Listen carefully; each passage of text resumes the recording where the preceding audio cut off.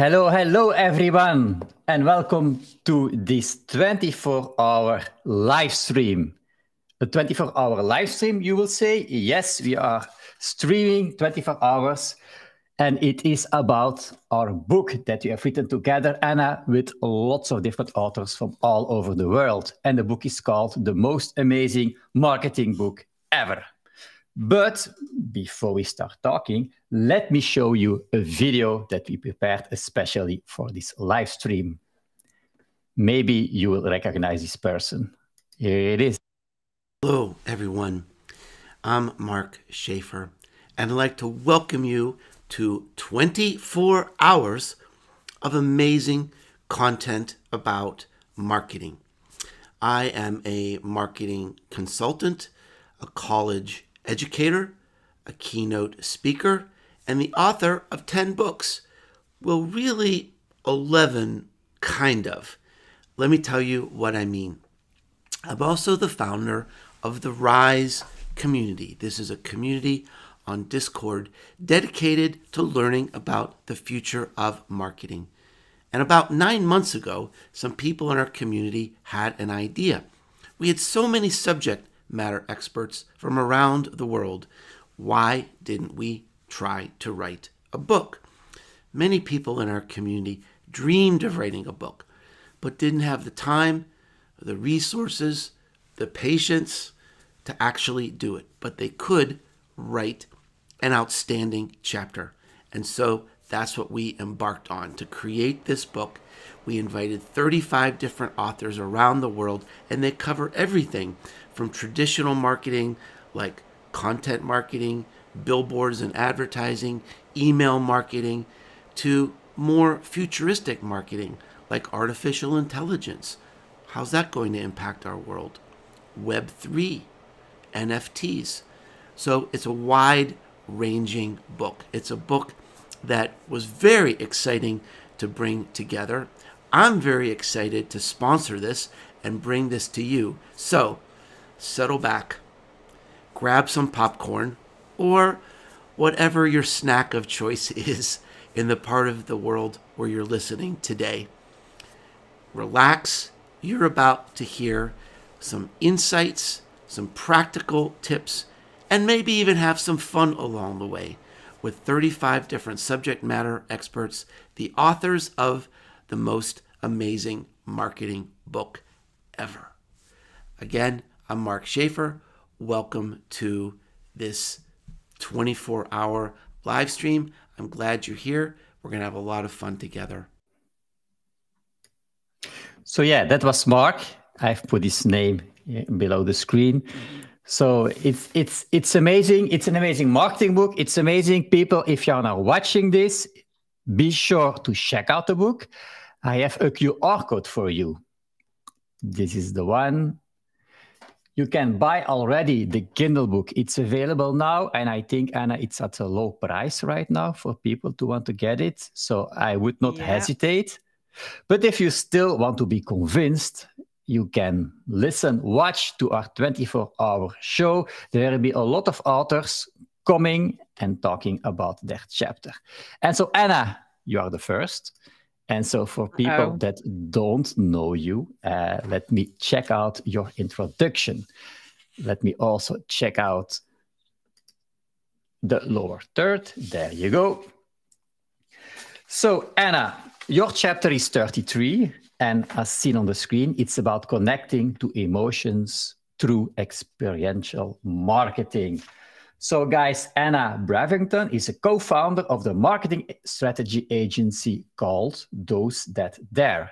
She was featured on the 100 Female Entrepreneurs to Watch list in 2022. And actually, that's already a great short introduction for you because the time flies, Anna.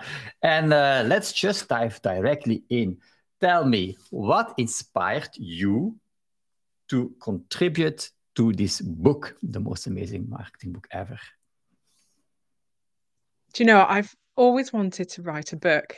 And exactly what Mark said in the intro, oh my goodness, I really struggle to have the time to build to create one. And So when this idea came up that actually I could do it with all these experts that knew what they were talking about and it was part of a community, that I love my communities and the Rise community is amazing. And it was so comforting to know that we all had each other's back, that we were going to um, be able to share this uh, journey together. It's much less scary than writing a book on your own, where you have to just put it out in the world on your own. And I love doing um, talks on stage. And I thought, oh, this would be nice to do it in writing that's got a bit of longevity. And it was just such an exciting project. I couldn't wait. Yeah, I, indeed, it is a project. So we are doing it together. I love that. You know, all these marketeers come up with their different ideas, with their different specialty, with their different subjects. So your subject, we already mentioned experiential marketing. Can you give some? Don't tell everything, of course, but give us some takeaways from your chapter. So for me, um, experiential marketing, I wanted to do it because it's a little bit misunderstood. People think experiences mean in-person events uh, and big things, but actually experiences can mean little things where you're just giving people memories to make them think really fondly of you so that when they want your product or service they're going to think about you first because you're at the top of uh, you know the top of their brain.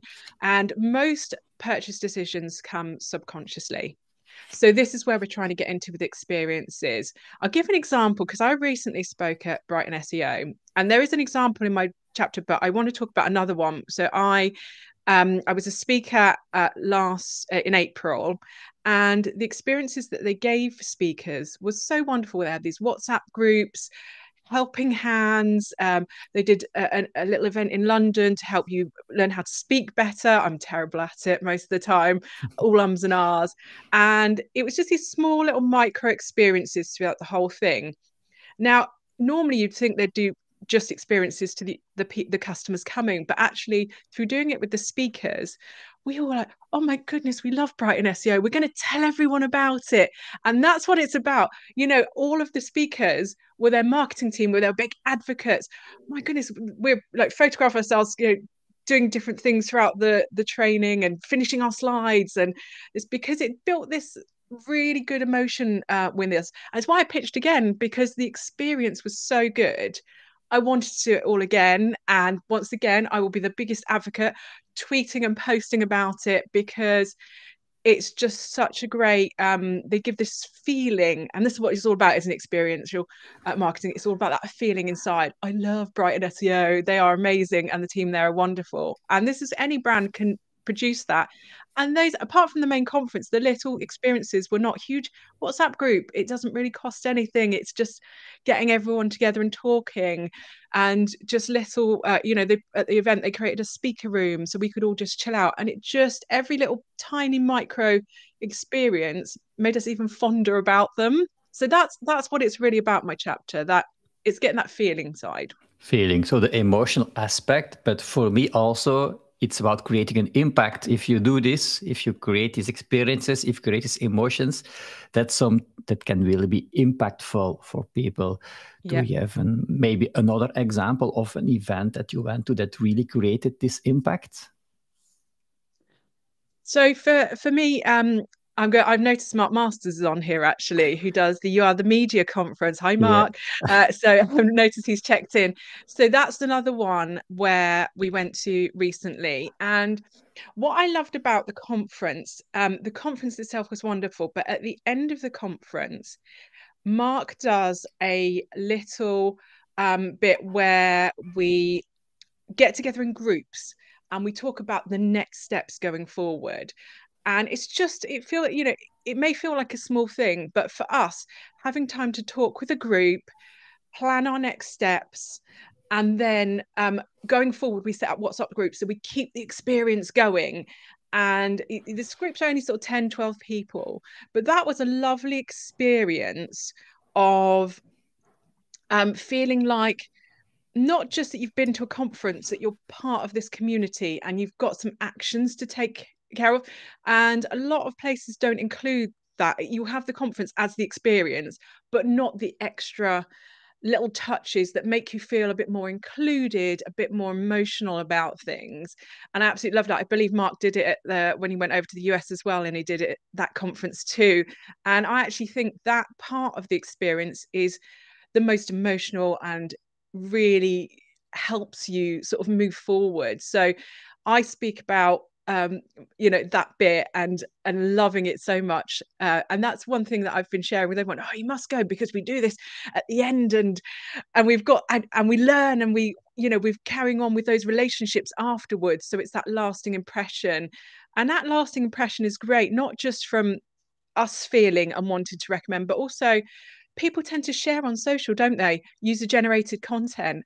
So I want to share this experience that I've loved and enjoyed with other people so that others can say, oh, actually, I want to be part of the experience. I want to feel that belonging, which is absolutely wonderful. So it's just these little things that you can do that make, you know, just instead of being a conference, it's a little bit of an extra something or instead of one example i give in um, the book is about BIMA um, which is a local uh, sorry a uk wide um, association for digital people and theirs is just zoom calls just simple zoom calls monthly doesn't really cost anything. They don't even come on them it's just us all arranging them and it's so simple but yeah i love them and i wait for them every every month. So it's just thinking about how can we turn this? How can we make something personal, really personal, and really help people connect?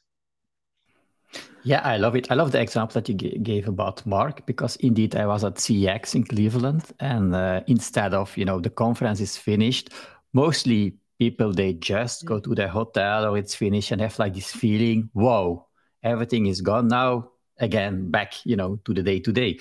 But the the session that Mark did at the end was just like connecting a bit with each other, even if everyone was tired, but just defining a, a, an action that you would take. And because we were in little groups, we were also obliged to do it. You know, I had a call. Yeah. I think it was yesterday with the others to see, you know, who did what. Did you do your action? Did you? Didn't you? And this created a more, I would say, impactful experience, of course, for this event. Um. Are there any misconceptions, uh, people that about uh, about these events and about you know doing this stuff? If this is really useful to do that, or like adding this extra layer to these events, do, are people do do they think it's worth? Are there misconceptions about that? I think there are i think that people the thing with experiences they don't always have an immediate return on investment. And i think a lot of businesses a lot of brands they really struggle with that um, you know there's there's a big push you know people like paid marketing because it's money in money out. You you put some money in you see what comes out. But with the brand building that's that long term business longevity. It's eventually not spending as much money. So when i've worked in house or with clients on brand building. Initially it feels like it's it's a bit of a an uphill struggle. You're trying to build your brand yeah. but eventually that snowball effect happens. And you know i worked at previously with at game and we ended up halving our marketing budget because we built the brand the brand stuff up so much and it was so much more impactful. The return on investment was really really good. You know over we were saving hundreds of thousands of pounds on um, you know over peak period because we were starting to build that brand up. So in the long run i know it works. I've seen it work. But it i think the problem is and i've seen John Espirian on here because he talks about content and i can't remember how long it is john but is it about uh, nine months or something for a return on investment um so you know experiences are kind of the same. John talks about content but experience is about the same. It's all that sort of long term brand building. You got to wait sort of a good nine months to feel the effects of it and people sharing and it has to be consistent as well. Um you have to just keep plugging at it. If you do one experience and that's it it's not it's not going to keep leading to others. You've got to keep that continual feeling going people are a little bit fickle. And you, you know they can forget things quite easily. So it has to be a little bit of a keep plugging at this. This is what we're going to do. But this is for the long term brand. We know in the future marketing will cost us less and we'll get better returns. We've just got to keep at it. And what happens with a lot of businesses is they'll start panicking after four weeks, eight weeks. Oh, it's not working. Let's stop it all. And all that work you've done, it was just a waste of time because you've not you've not put the time into it. So that I mean that's the pitfalls that people can really fall down. Yeah, you need to be also patient to see if it works. That people are not patient these days anymore. They do an event, as you see, they they want to have return on investment, but it's not always measurable. I put a quote here from, from Fiona. She said, community is everything. Yes, you're also building your community if you're doing it mm. right. And you don't build a community like that, you know, it takes time to build a meaningful community, uh, or you need to have already your audience and then building that community. And also something that we see in our RISE community, Anna, is all these different new technologies that are coming, like AI, like Web3, that I'm that's actually my thing other stuff that is changing in today's landscape. Um, how how is that impacting you, or how do you you know adapt yourself with all these different technologies for the field that you are in? See, I think I'm quite lucky because I'm quite a tech adopter. Um, I, I've got a degree in pro- programming and I started life as a pro- uh, or a degree in computing. I started life as a programmer. So it's quite, um, it sort of leans to me being a bit more tech adopting. And, you know, I've been doing marketing 25, 26 years and it's sort of been in digital that long. So I, I see these panics and you see them coming. Oh my goodness what's going on? You know social media was to say oh my goodness you know and and the next thing and the next thing. And i always find they even themselves out in the end. So i actually really love ai i've been playing with um chat gpt because i got the plugins recently so connecting it to the web and getting it to summarize web pages i do a lot of research and sometimes it's really useful and i i think there's this this panic that it's going to take everyone's jobs but you know, we need to give AI credit. It's good, but it's not human level good. And you know, as copy, you know, copywriters that think that AI is going to you, take their jobs, AI is going to take the jobs from people who are bad copywriters, maybe, yeah. and it's going to take the work from people who actually just don't want to pay copywriters the money anyway. You know that they're, they're never going to be a good client, or they're never going to be a client because they don't they don't really value copywriters so the people that you want as a client as copywriters are people that value it that want to spend the money on it.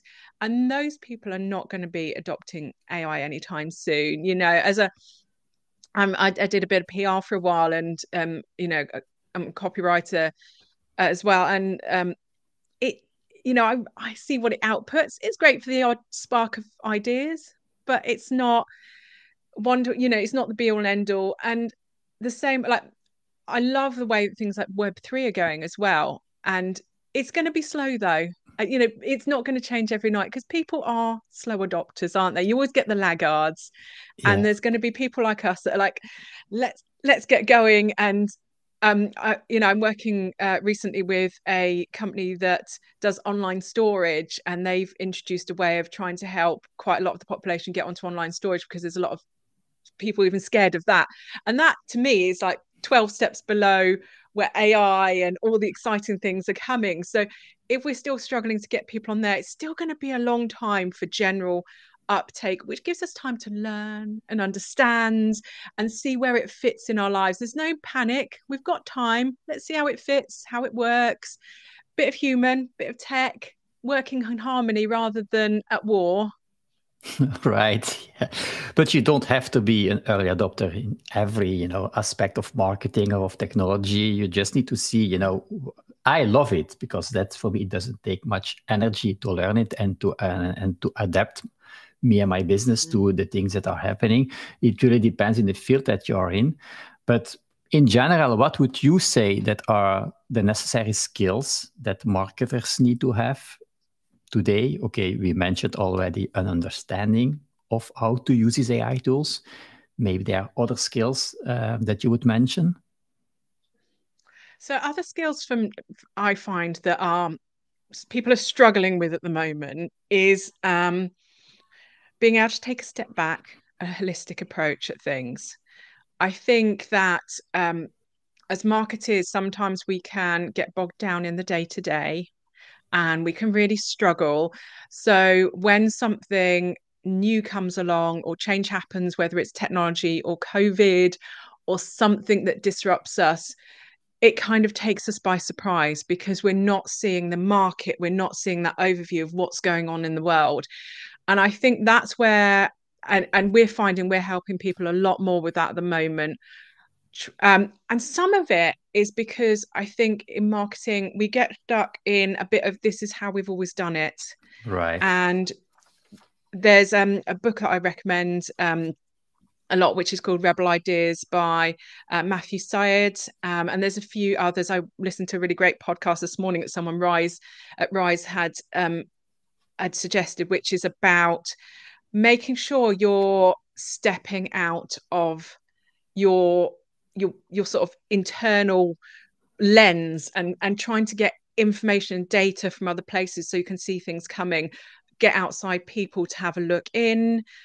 Make sure that you're doing your looking at the market and doing lots of research and insight because that way you get a bit bit of holistic uh, view of everything that's going on. Rather than just being very business centric and day to day it helps a bit better. I was quote what um christopher told me John Espirian said which was uh you can't see the label from inside the jar you know you get stuck yeah in that day to day and you need to bring bring a bit of bit different perspective in, a bit of diverse ideas and and really get out of that box because it is easy to slip into this is how we've always done it and churn it out day in and day out.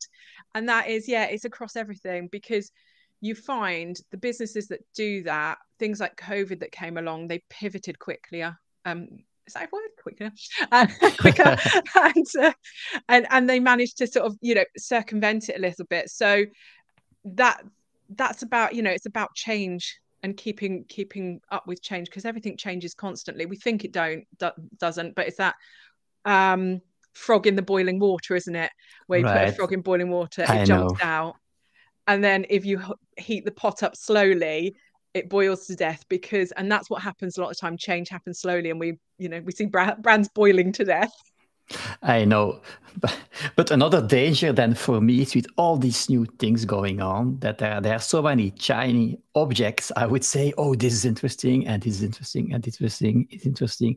To, as you say, take a step back and to, yeah, make choices to say, okay, I want to, this is what I, am going to do, to, going to learn, going to implement. Of course, have an overview of everything that's really interesting, like we are in the RISE community for me, actually, that's a place where I can see, learn a lot of things, see things that are moving in the, in the marketing landscape. You mentioned reading, podcasting. Um, you are also in a community. Is that also a place where you learn, Anna, or, or do you have other sources? Uh, do you, for instance, do you go to conferences or something else to learn for yourself?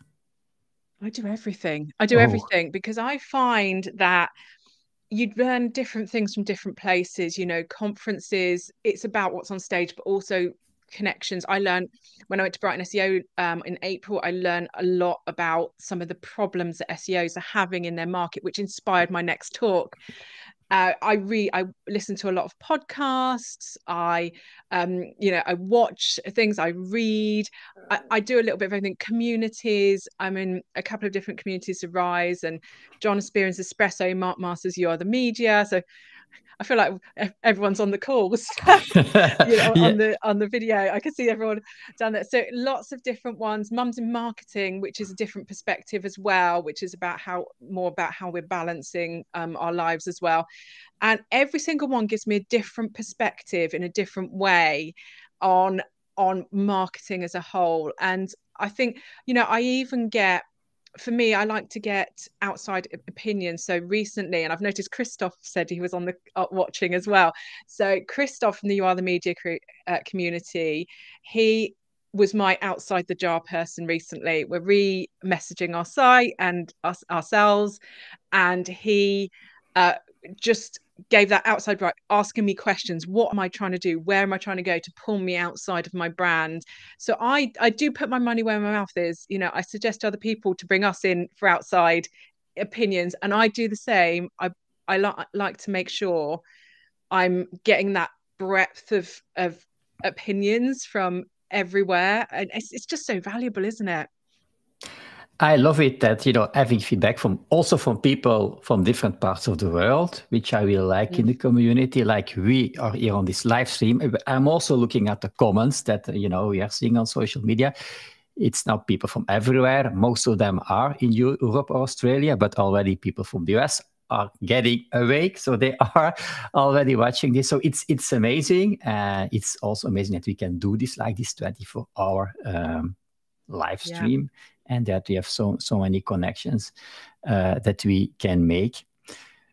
Maybe uh, because we still have a, a, little bit more time, we did an event together too. Anna, we you were uh, you spoke in the metaverse with me.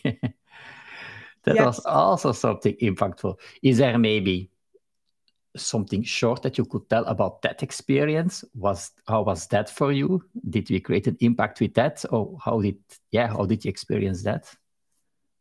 Oh i did love the metaverse talk. So they're so good. Um it's really interesting because i think there's a preconception that people think the metaverse is going to be impersonal because you're working as avatars. And i found it the opposite I almost felt like we were all in that sort of room and the gallery together. And even though there were avatars, that human aspect of seeing people moving and chatting, the bit where we all tried to do a group dance together was absolutely yeah. hilarious.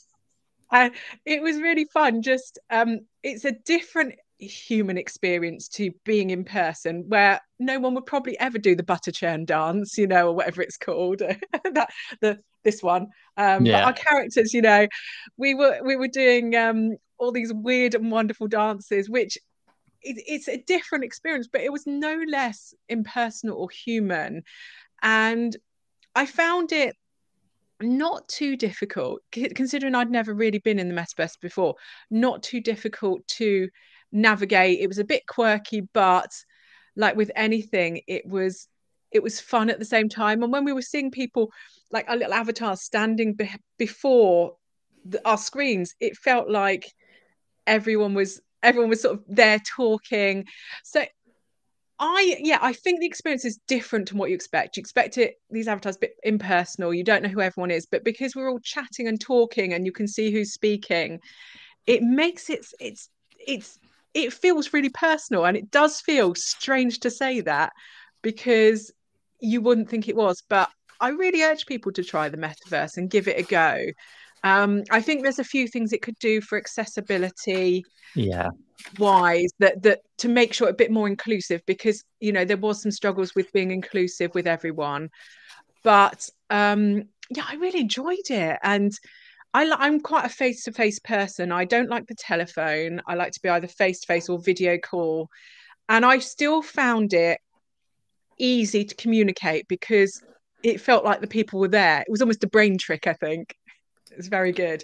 So, yeah, I recommend people try it and maybe brush away those preconceptions that even I had. Yeah, actually, we are, the time flies Ian will be the next speaker. He told me, Yuri, time will fly.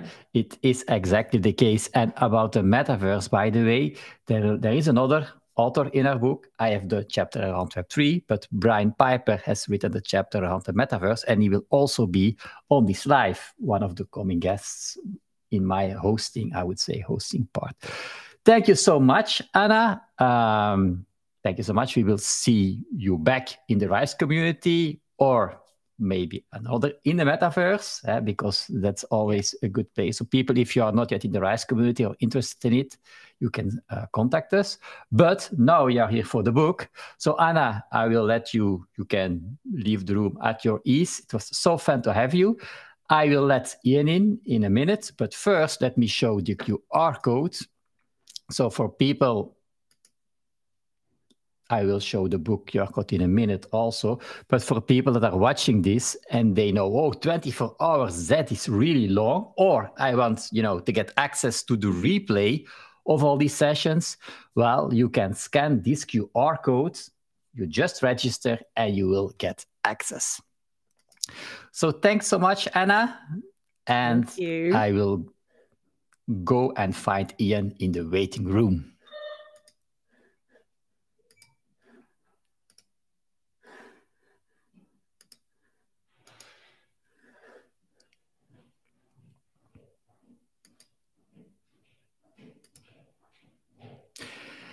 Hi, Ian. Hey, Yuri. Good to see you. How's it going? It's uh, it's go it's yeah. going well. Thank you so much. Um, you know, you're the second guest, but of course, you're one of the brains behind this live stream that we are setting up. So, as you know, for me, I'm used to do lives with StreamYard, but this is with Restream. And thank you so much to to find out all the possibilities. I think it's it's going well at the moment. Yeah. So, guys, uh, Ian is also an author of the chapter in our book, of course. So, Ian, let me find your chapter. So, this is the one about the extraordinary power of live streaming. That's your thing. So, let me give a short introduction for people that don't know you yet, but maybe they have seen you online already.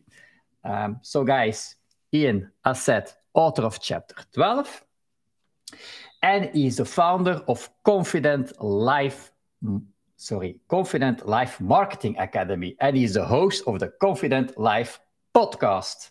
He helps entrepreneurs level up their impact, authority, and profits by using live video confidently. So, I that's that's for me. I, it's it's really exciting doing stuff like this. You never know what to expect.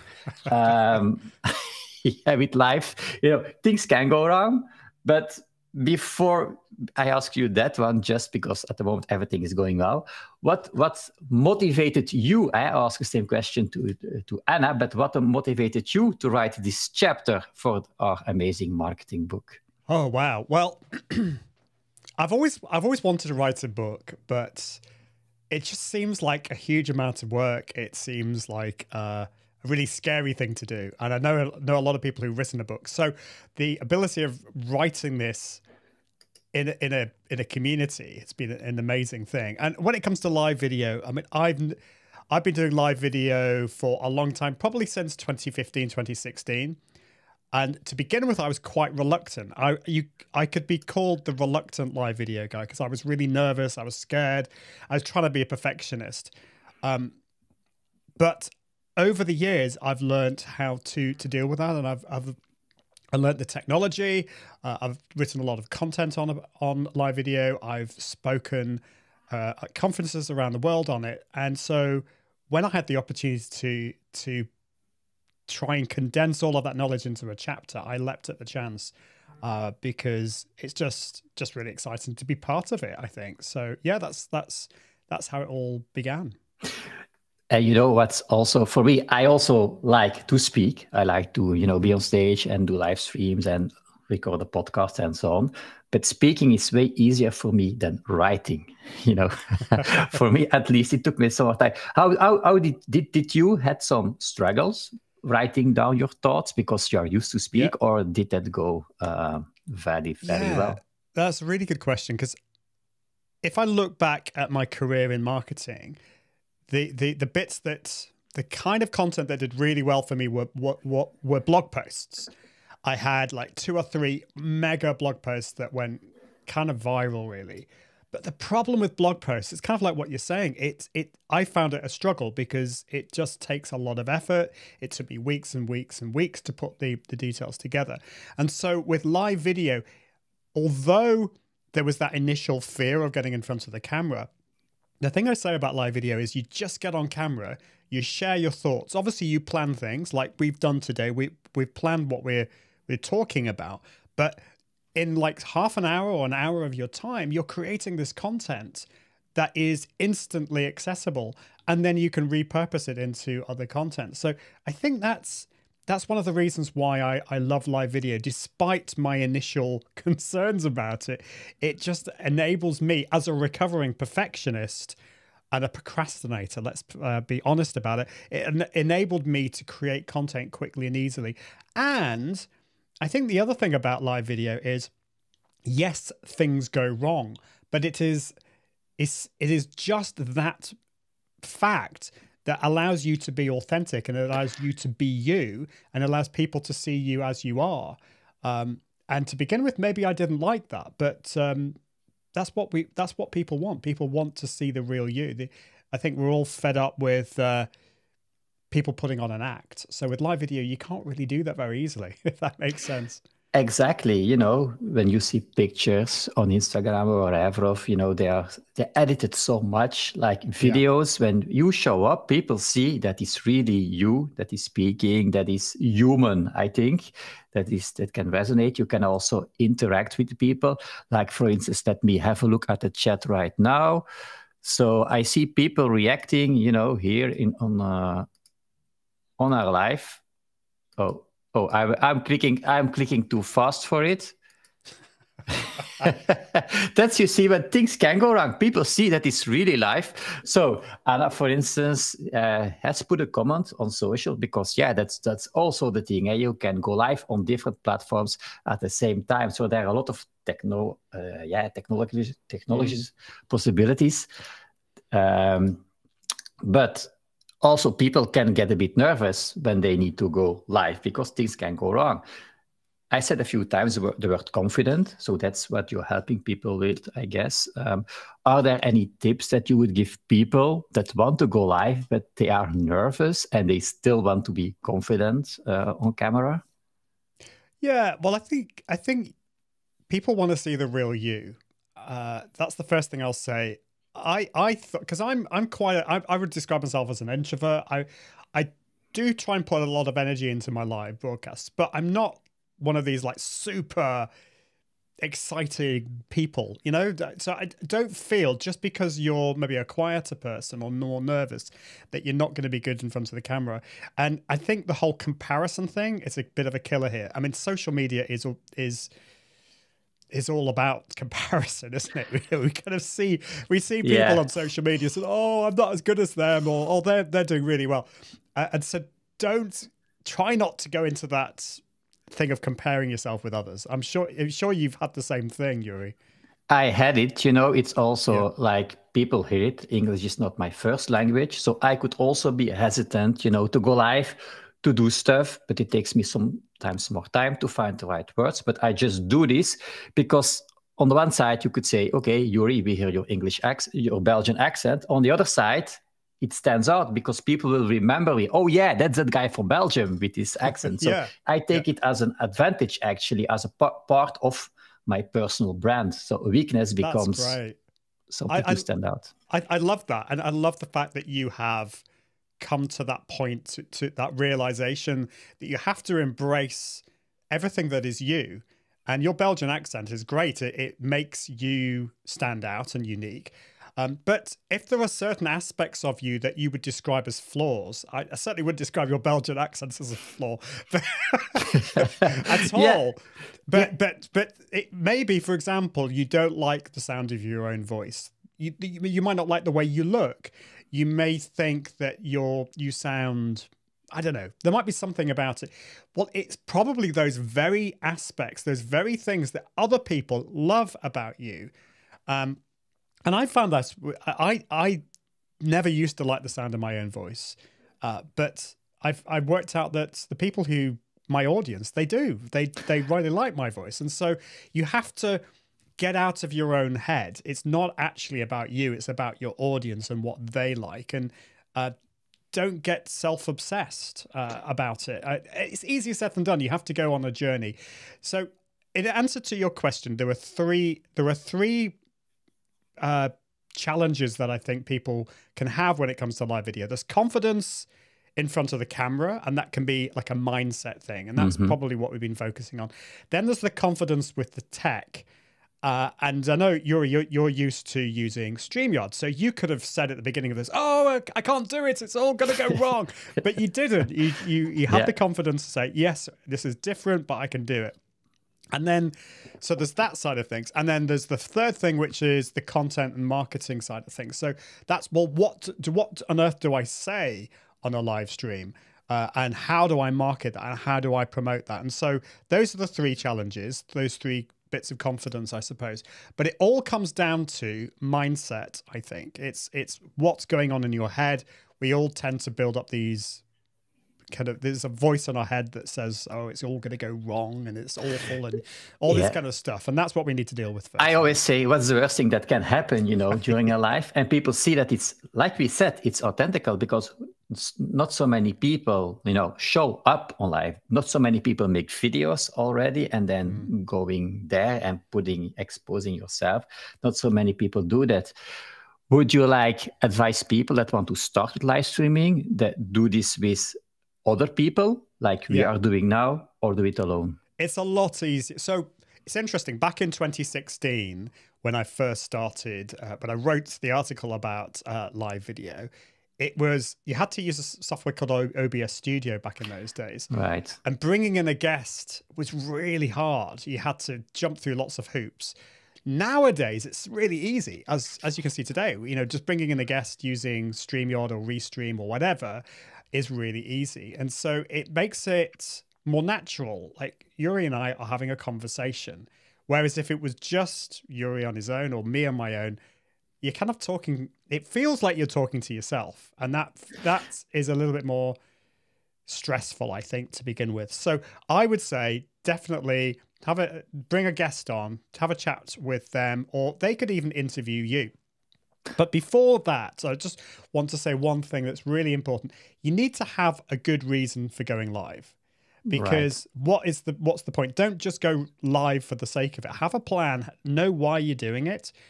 Uh, and the other thing I would say is practice on other platforms. You know, practice using Instagram stories or uh, you can even go live on Facebook to yourself, so no one else is going to see it. Just play around with it, test it, uh, have a and have a play, and then uh, just say you're going to go live and go live. And and um, if you make any mistakes, that's okay. It's absolutely fine. Everyone everyone has that, that experience at the beginning. So just keep going. It is, you know, if I now listen to my first podcast episodes and now that I've done more than 100 and I listen now, it's, it's, you, you just learn by practicing, by doing it. And people then are part of the adventure, part of the, you know, that makes it interesting. I, what you said about, you know, recording yourself, I like that too, because what you can do is if you're not used to go live, you can first try to make videos of yourself and then you know you, you don't even need to post them but you can see what the video is like. And then if it's good you post them and then you get some feedback.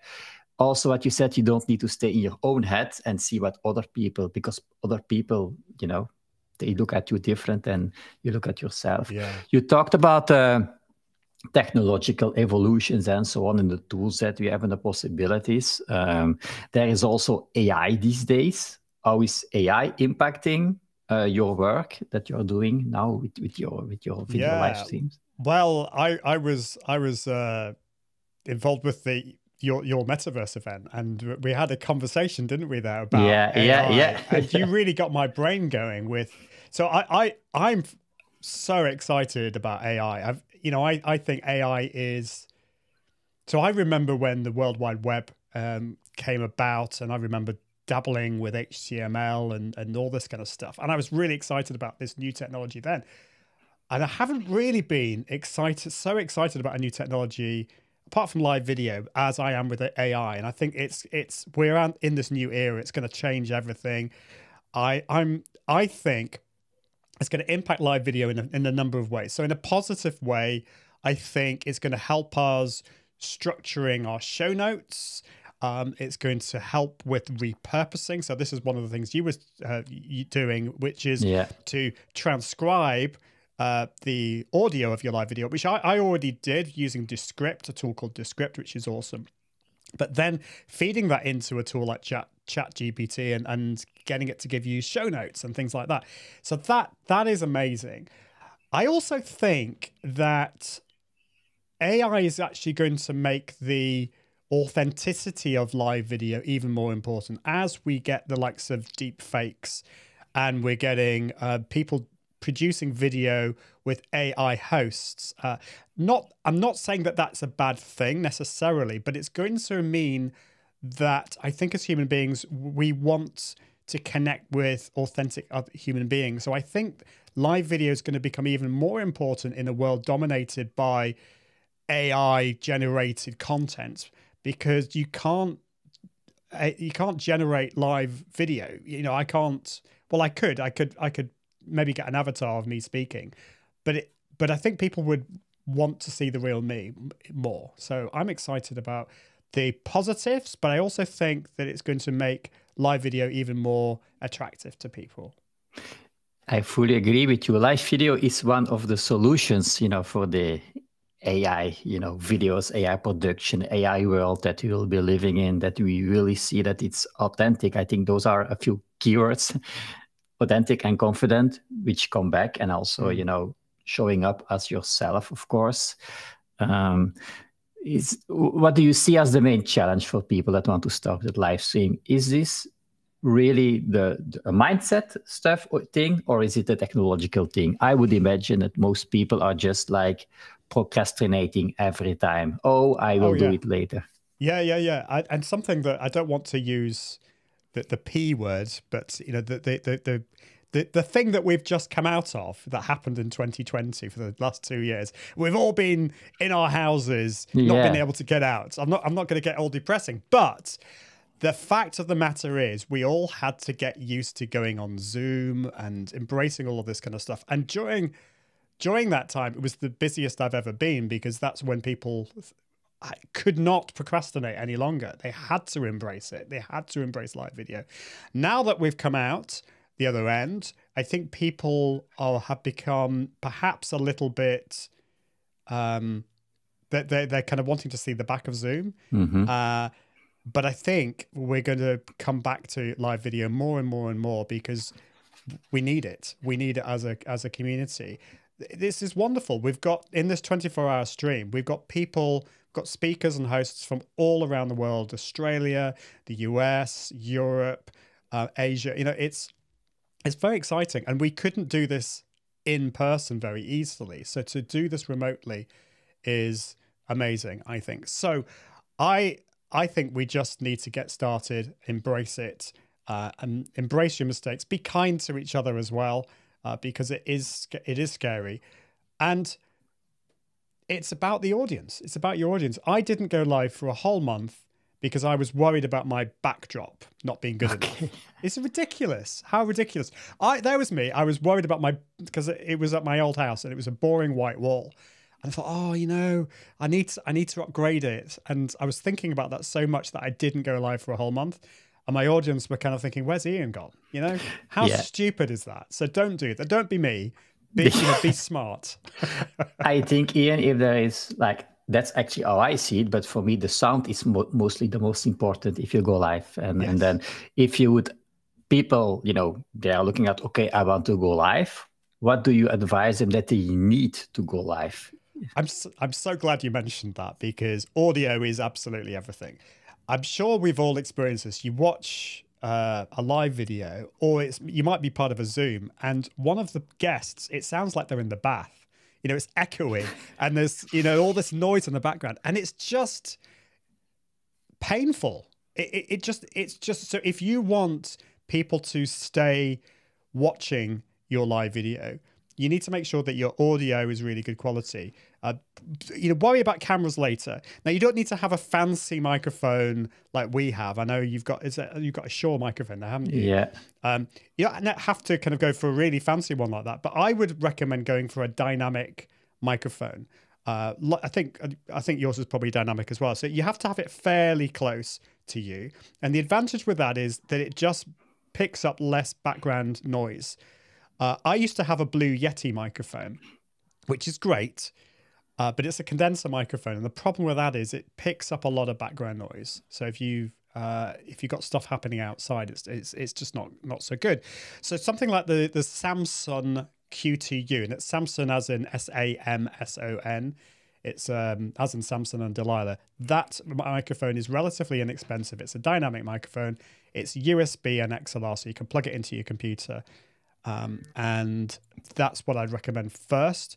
In terms of a camera, uh, just make do with what you've got to begin with. I'm a big fan of bootstrapping your live video studio over time, mm-hmm. uh, but you could go for a Logitech uh, camera. Some of the Elgato Camlink, uh, not Camlinks, uh, Elgato, what they called again? I've forgotten the name of them. Cam cameras. Anyway, the cam face cam. Yeah. The Elgato face cams are good. And if you want to get really fancy, you can do what I've got, which is I've got a a, um, a Sony ZV-E10 or for our American friends, the ZV-E10. uh, so, uh, and then I've plugged that into my computer using a cam link. That's a bit more complicated. Um, but y- what I'm saying is, don't let the technology get in the way. Start simple. You don't have to spend a lot of money. Start with a simple microphone like that, and over time you can build it up. And that and that's what I've done. I've just you know as I've as I've made more money, I've thought, oh, I, I want to I want to buy a bit more technology, and I've done it like that. Yeah, that ma- also makes it fun, and so you you know it's about being consistent. So I started my podcast too, you know, with another microphone and so on. But when I saw I was making so many episodes, it was like a reason, you know, to give myself a gift. Yeah. Doing that and making it even more fun. And and so yeah, you you can start with a good microphone. You you made the right uh, remark. I also started with the Yeti when I did more webinar like Yeah. you know but when you're doing stuff like this when you're doing podcasts uh, i i thought it was time to change uh, the microphone so ian if there was one tip don't say everything of course about your chapter but something that you would like to pick out of ch- your chapter a tip or a takeaway that you uh, want to share with with the audience now what would that be Mm, and this is from the chapter. or Um, if it's not from the chapter you just can say what comes now to mind that is also good yeah, for me Yeah, No, well, one of the so this I was thinking a lot about this that, you know, obviously the chapter is about live streaming and it's about going broadcasting live. But that isn't for everybody. Not everyone is either going to feel confident and comfortable to go live. And that's fine. You know, there are tips and there's lots of things I could help you with in order to do that. But sometimes you it's it's a great way of creating content to imagine that you are live. So creating content as if you were going live. And I've been doing that recently because I'm having a, a, little bit of a sabbatical at the moment as I run up to episode 200 of my podcast. I've actually been going back into the archives and uh, I've found uh, little bits of interviews that I've done, the best bits of uh, interviews. So I've, I've got those and then I pressed record on my software. I use Ecamm Live and I'm not actually broadcasting live anywhere, but I'm recording it as as if I was going live. So I will say, "Welcome to the show," and I've and and then I'll play the interview, and I'll and then I'll come back again, and then I'll press stop, and I'm not editing it. It's just as if it were live, and so this gets rid of the procrastination. It helps. It's it helps you get um, the content straight uh, content done straight away. Obviously, you're missing out on the interaction with your live audience, but um, it's a great way of creating that content. And what I actually then do is I then uh, I stream that pre-recorded video live. Now I wouldn't recommend this all the time, but for something like that, it's a good way. So if you're if you're concerned about going live, if you'd rather not do it, then this is a way of of uh, it's a kind of a halfway house, and that's what I've been experimenting with. Um, so something for you to think about. Yes, and actually, what you're saying about I, I did actually a mixed approach so i did my masterclass i was live streaming it on linkedin and different channels but i prepared also a little demo that i wanted to insert in my life mm. so by doing that i was sure that i would not have technical issues with yes. my demo at the moment of the live you know and and also this gives me a point of rest during the live stream yes. so that I could just show something. So I think a mixed approach is good so that people really see that it's live, that you then you can show a video and then you yes. show up from questions. Um, because the interaction for me, Ian, is also a big part of making live that, that can really um, it is. And and and I, I love that approach. I'm I'm going to be doing that a lot more. So I I'm definitely a big believer in in just the fully live format like we're doing today. I think that's great. But uh, I've seen quite a few people do the hybrid approach, like you're suggesting. Uh, my friend Steve Dotto does this for his webinar Wednesdays. He he he turns up live, but then the main segment, the main teaching part, is pre-recorded. And the other advantage with that is that because you're not hosting and speaking, you're then able to then go into the chat and answer questions live. In um, so people can ask questions, and you're actually posting that. Whereas that's a bit tricky to do while you're actually speaking. Uh, I don't know about you, but I, I can't multitask. It's, so it's, that's a good way. It's yeah, it's a bit what I did uh, in the past too. Is having someone else looking at yes. the chat while I am, you know, presenting something. Is that also something that you would advise for people starting out? Um, so I think if you're starting out, the likelihood is that you're probably it, it, so it's down to how big is your audience. Right. If, if you have a big audience and you send it send that out to your list and say, I'm going live tomorrow and then you have like 200 people watching you live. I mean, that would be amazing if that was the case. Absolutely get uh, possibly a team of people to moderate. Um, so if you're using software like uh, StreamYard or Restream, they have a, a, chat facility where a moderator can go in. Uh, YouTube and, and Facebook and, and all of those has the ability to uh, allow moderators to go in and, and keep keep things up to date. Um, so yeah, I, I would do that. But if you're just starting out, the likelihood is that you're probably not going to have that many people watching you live. Absolutely, you should be pre pre promoting it. This is one of my five P's that I show in, in the chapter. Okay. hopefully, I'm not giving too much away. But you've got your you've got your planning, you've got your pre promotion, so let people know that you're going to go live. You've got the production, which is what we're doing now. Uh, then you've got the post promotion, and and that is the, the whole thing of you've gone live now you've got your replay audience who are going to watch it so make sure they know about it and then finally repurposing your live video. So absolutely get people to while you're while you're going live to to go in and, and involve get get involved with the, the chat. That could be maybe you have a virtual assistant maybe you have a team or maybe you can reward some of your uh, amazing audience with the role of being community manager. Right. Or just, you know, if you're going live for the first time, you can also talk about, if you are in communities like in the Rise community, you can just talk to people. Oh, I will go live. Can you come and support me? I saw the first time I went live so many years ago people were just curious to see what is happening. You know, they just wanted to know. And the first time I was one of the first in Europe to get LinkedIn live. So the first time I went live, everyone was like got this push notification, yeah. Yuri goes live. So they were just watching what was going to happen. And actually, Ian, if there are not so many people watching your first live, that's even for yourself, it gives you more time to practice and to be at your it ease does. and so on. It does, and don't don't worry too much about that number on the top left hand corner because it's either going to be really high and that's going to stress you out, or it's going to be low and you think nobody loves you. But remember, um, first of all, if you're going live to LinkedIn, LinkedIn doesn't if you it doesn't give that information to Restream and Streamyard, so the number of viewers will not include LinkedIn.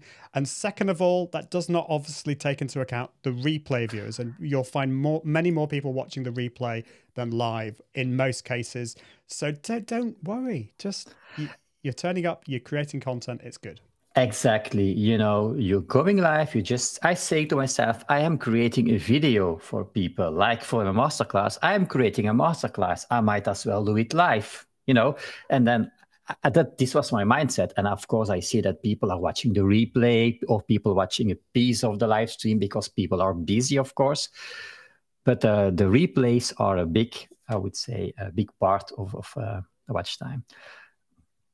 Yes, Ian. Yeah, you uh, your camera is going it's becoming black, but actually it's it's uh, the moment that uh, we need to say goodbye to you already. You know, you said to me the time will fly, the time will fly. I see already that Robbie is in in the waiting room.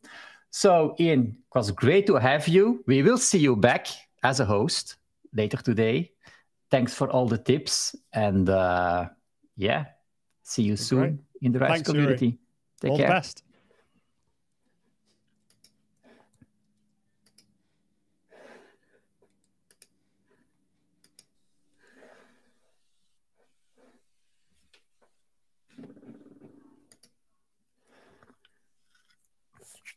Hi, Robbie. How are you doing? Good morning, Yuri. Doing well. How about yourself? Yeah, it's already, you know, afternoon in Belgium. Yeah, it's it's one after, uh, for good, you. It's a bit earlier. yeah, it's a little bit early for us. This is like early morning, and everybody everybody's just getting things going around around the U.S. But um, it's exciting. It's exciting to jump in, and I I do have to say, like, I'm a little bit intimidated. Like, um, coming after somebody with a smooth British accent, like I'm just going to sound a little bit less. Yeah, you are the first. You know the first person with U.S. accent, actually. So that's uh, that, that's good. actually, we are. Uh, you know, it's it's enriching. Like people from all over the world with these different accents. I also wanted to uh, show to people that are watching now the replay, that are so not watching the replay, that are watching the live. If they want to watch the replay afterwards, they can scan this QR code and then they be, will be sure to be able to do that because there are so many interesting authors, so many interesting subjects that we will be talking about during 24 hours. So be sure to scan, uh, yeah, this QR code to have the replay, and of course, the book. Don't forget to buy the book; it's available already. I will show it a couple of times during our live. So, Robbie, it's so great to have you but maybe people don't know you yet. So let me give a short introduction. So, guys, Robbie has also written a chapter in the book. That's the reason that you are here, Robbie. So let me show it on the screen. So your chapter is about why the marketing mix matters, right? So uh, who is yeah, that- Robbie? marketing mix matters, and then I think um, had one on email marketing too. So Oh yes, yes. You have a few. You, you, you did a lot like the four P's of marketing, and then you have two chapters actually, uh, Robbie. So chapter two, the four P's of marketing, and then chapter twenty-two, magnificent email marketing. Right?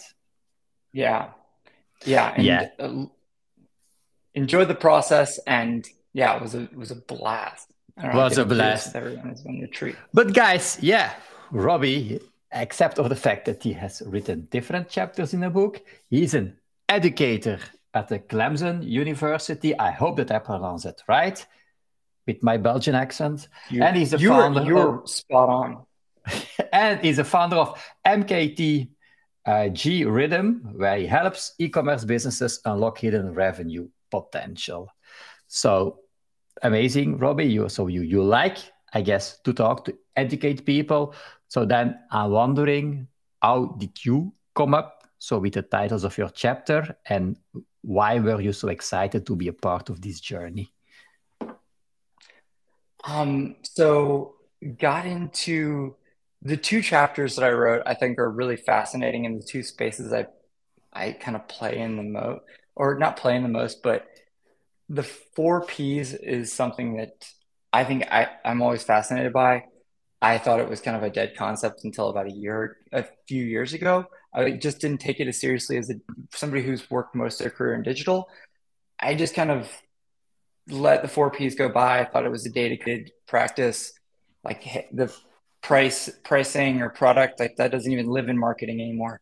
And I actually taught a marketing foundations course a, f- a few years ago, and it was the first time teaching that course, and it really kind of made me dive into it again. And I was like, wow, I found a lot of like hidden relevance in this topic that I'm really excited about, and kind of opened my eyes to some kind of cool concepts within the four P's of marketing because I think it's such a valuable like lens to view marketing from that I don't think everybody un- fully understands the in terms of how they relate to marketing or how they understand marketing. If you came up in a digital space, you may not have that that holistic lens to look at that marketing fr- marketing from.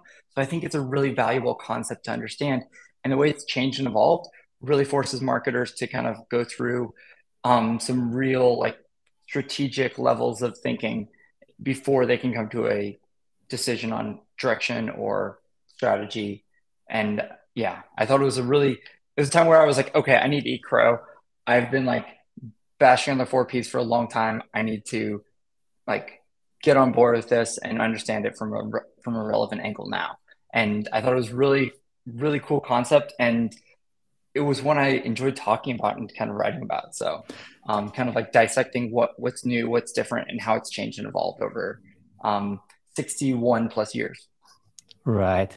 Yeah, it's interesting what you're saying that those fundamentals are still valid even if you know the marketing landscape is changing so much.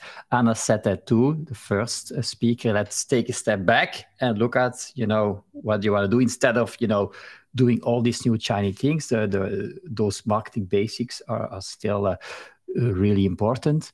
Um, so are you more like someone who likes to speak or likes to write? Because for me i said the same thing to ian. I like to speak i like to talk so writing was a bit harder. But you are you more like a speaker or a writer? Or what was your experience? Um, i am definitely more speaking. Um, i am getting better. I like writing. The process of writing makes me think and really think like dive deep into ideas but i'm definitely speaking. Like i i teach like I always joke, like I teach I teach marketing because it's like talking about marketing kind of like my love language. Um, I could talk about marketing for days. Um, and like even the process of writing the book, like I really like wanted to kind of like talk, use concepts I talk about all the time, and bring them into a into a space where it's going to be again translatable in a written or listened place. Um, but definitely leaning on the speaking side. I, I just love talking about the topics. Um, again, recording the Audible chapters was a little bit of a struggle too because I'm so used to talking just like off know. the cuff and consistently that reading like word for word was a little bit of a challenge for me. So, um, you know, a lot of patience on everybody's part there. You know what's funny? So for me, because you know, I I I knew that we were you know we needed to do the audio chapter and reading it. And because i was really careful about my pronunciation because english is not my native language i read it like not not too fast just just at my ease. And it seemed okay. And okay like okay just because i was not hyped up like i am mostly during my podcast i'm just talking was like okay this is a book chapter. I need to be calm. And actually that way it went fine. And just uh, like Ian said just before, just you know doing it and not asking myself too much many questions like should I really be you know doing my chapter myself and uh, and then I talk to other people. Yeah, do it yourself, do it yourself. Even for my own book, I have like a coach for my own book. They, said do it yourself. So uh, yeah, that's uh, and that's also good to be this part of this community where people are motivating each other. Um, how is that impacting you and what you're doing. So being a part of a community like Rise, um, does it also help you to, you know, being on top of the new evolutions in marketing? So, so it really, so in terms of like being part of the Rise community, it's been a real game changer. Again, I think I consider myself in like pretty close to what I, ideally an expert in marketing and the topics I talk about in marketing.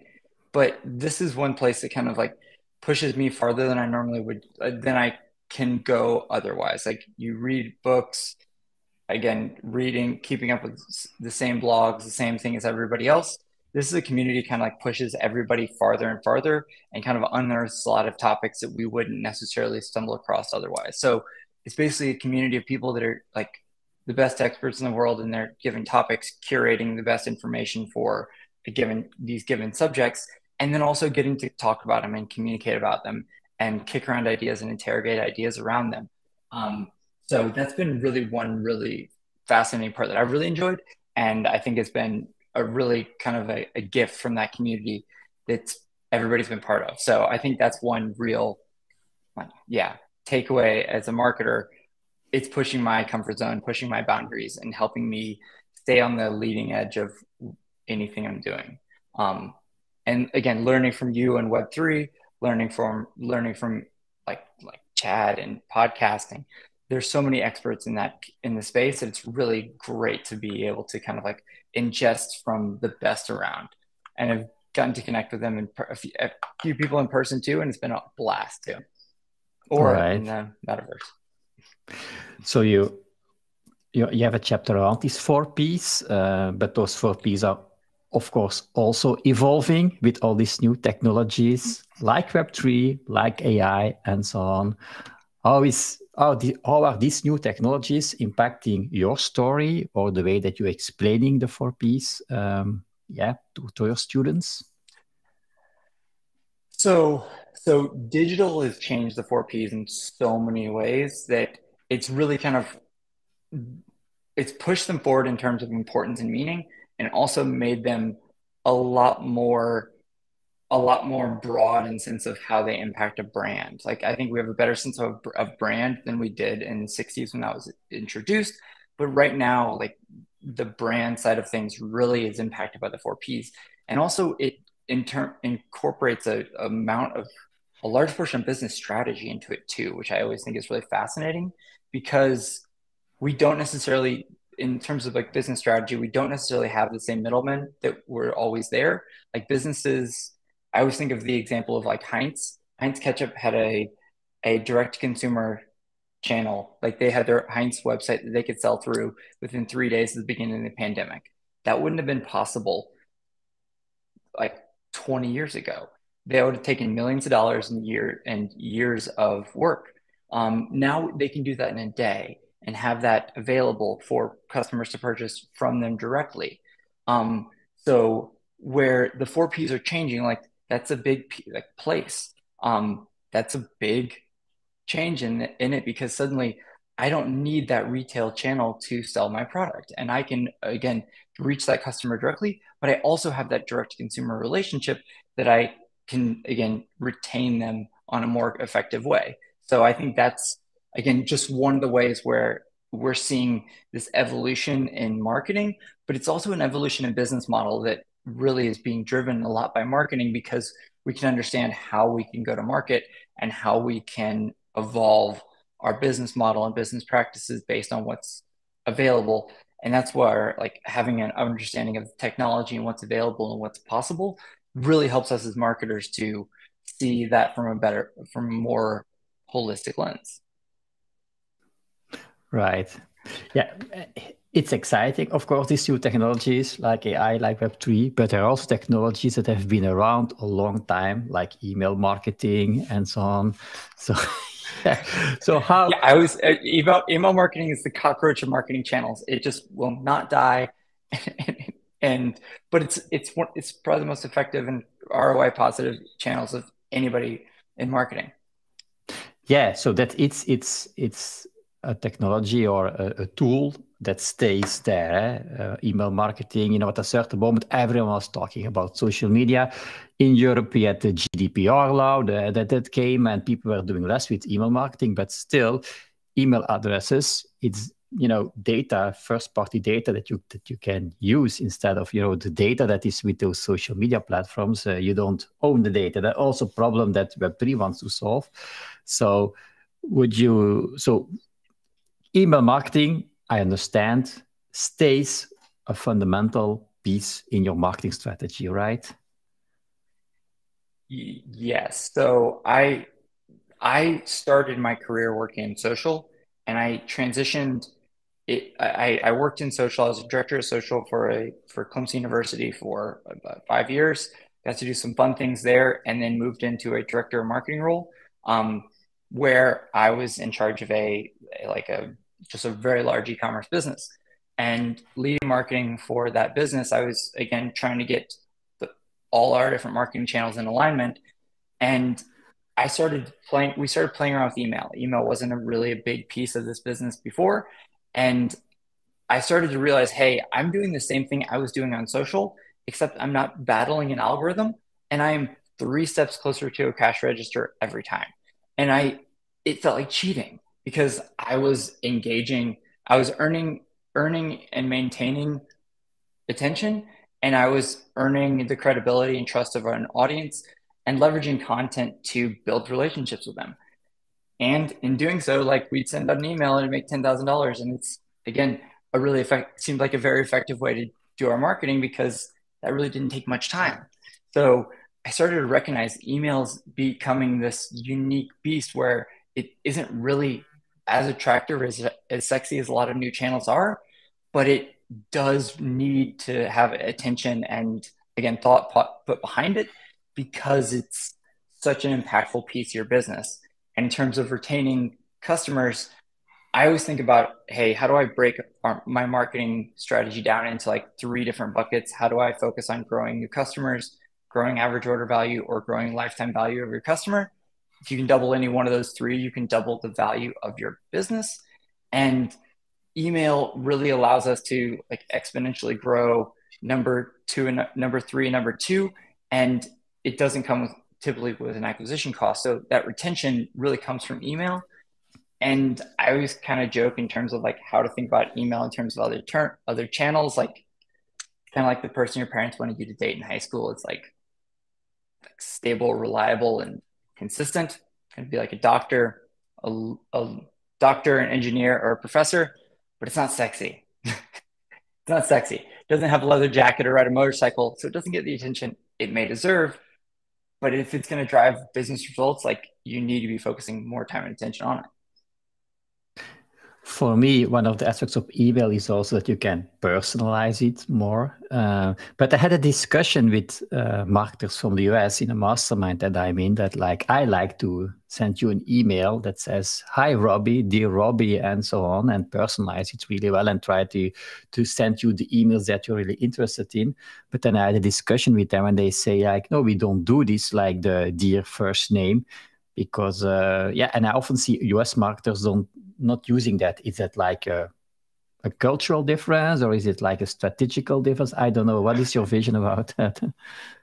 Um it's probably a data difference. Like the, okay. the, the the level of data hygiene they probably have they may not be able to get away with you doing that. So the level of personalization and making sure you have a clear clean database. So many people that have historical databases will have like um like sender like or like they just basically have like generic names that they'll associate with some of their date some of their contacts at some point in time as people change over from esp to esp they may have like less than clean data um we like we work with clients that have that all the time and having like a default like if this then this um, is a really smart way to do that. But the more personalization you can add to those, the more, the better they're going to perform, and the more accurate they're going to. Basically, um, adding a layer of personalization just improves the the performance of those overall.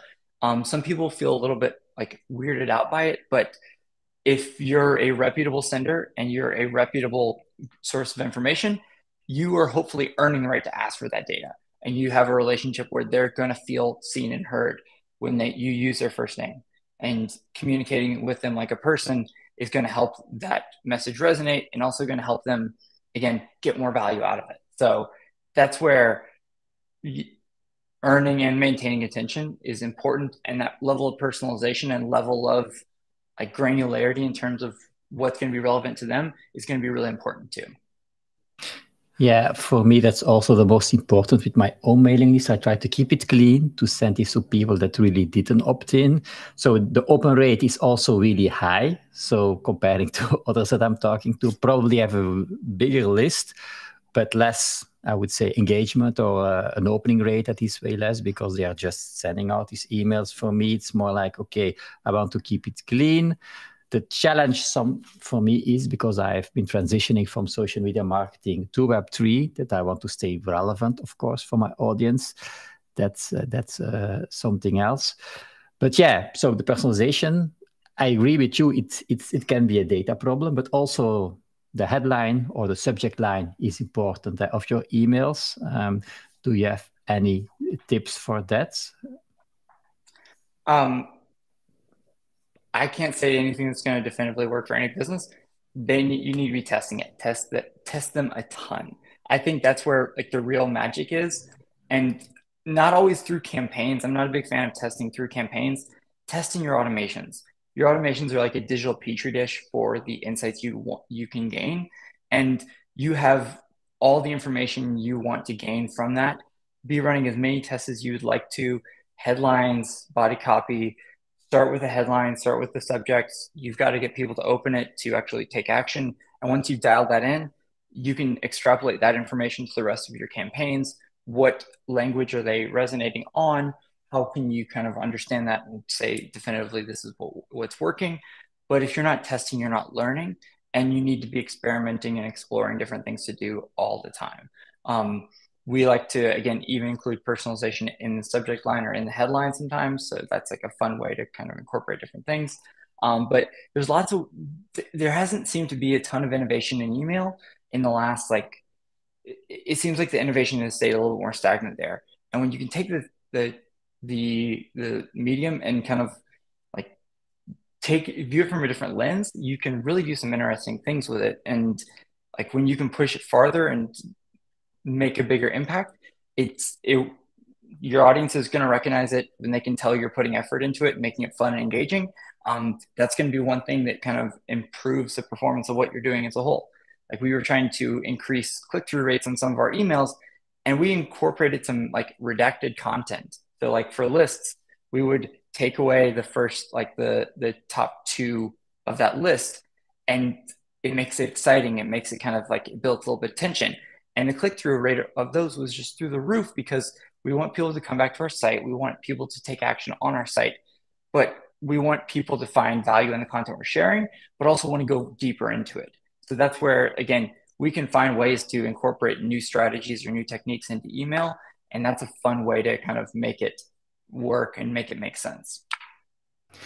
Yeah, and you're right. It's all about testing, you know, seeing what works because you may think that this is the best title or the best subject line or whatever. Like we did for our book cover. Also, we asked it to different people. What do you think is the best? And then you, you know, you have the, a bigger audience. Let them decide. I did the same thing with my when I my my company logo. What do you like the most? I just asked to people. It was not a logo that I liked the most. It was my audience. So sometimes it, it just you know test it. Um, ask it and also measure it because if you don't measure it you won't know it. So it's not like thinking that it will be like that also measuring it. And when you talk about innovation and newsletters and email marketing now we have ai i. Think there will be possibilities. I already i was talking to someone at in cleveland at cex about an ai newsletter where a, a newsletter could be you know adapted modified or just being personalized not only the first name, but all the contents of the newsletter for this person. So, how do you see the role of AI uh, playing for e email, but perhaps for the four Ps in general? We're gonna need a lot more time, Yuri. We're gonna need a lot more time. Oh, more time. Yeah, but, yeah. But people, people can, you know, they they can they can. Uh, we, we don't. It's it's it's like a movie, you know. People see a little bit of that, and then they know, oh no, we need to buy the book. We need to join the Rise community. We need to talk to Robbie. There are so many things. People will be overwhelmed when they are watching these 24 hours. But if there was yeah. one thing that you would say, what would it be? we'll, we'll act like this is the redacted content to just like prime prime excitement and prime, prime anticipation.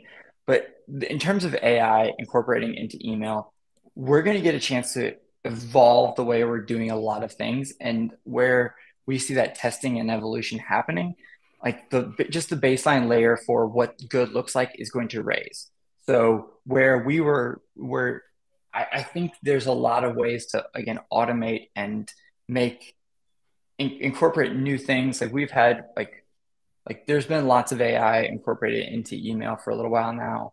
Like depending on the email service provider you're using, you may have like um, expected next purchase date. You may have a lot of automated, automated like again machine learning happening in the background to incorporate into your like when you're going to trigger an email, when you're going to send, how often, how frequent um, you're going to be sending. You're going to have a lot of that built in. But I think what's really going to improve and continue to improve what AI has been doing is just the level of creativity that people are going to be able to incorporate into their emails because they're not going to be focusing so much on just getting that email over the line. If they can focus on just making that email better, they can get to a baseline level and use a tool like ChatGPT um, to improve and kind of like give them a strong baseline layer. They can add that human touch and human elements on top of it to make it really great.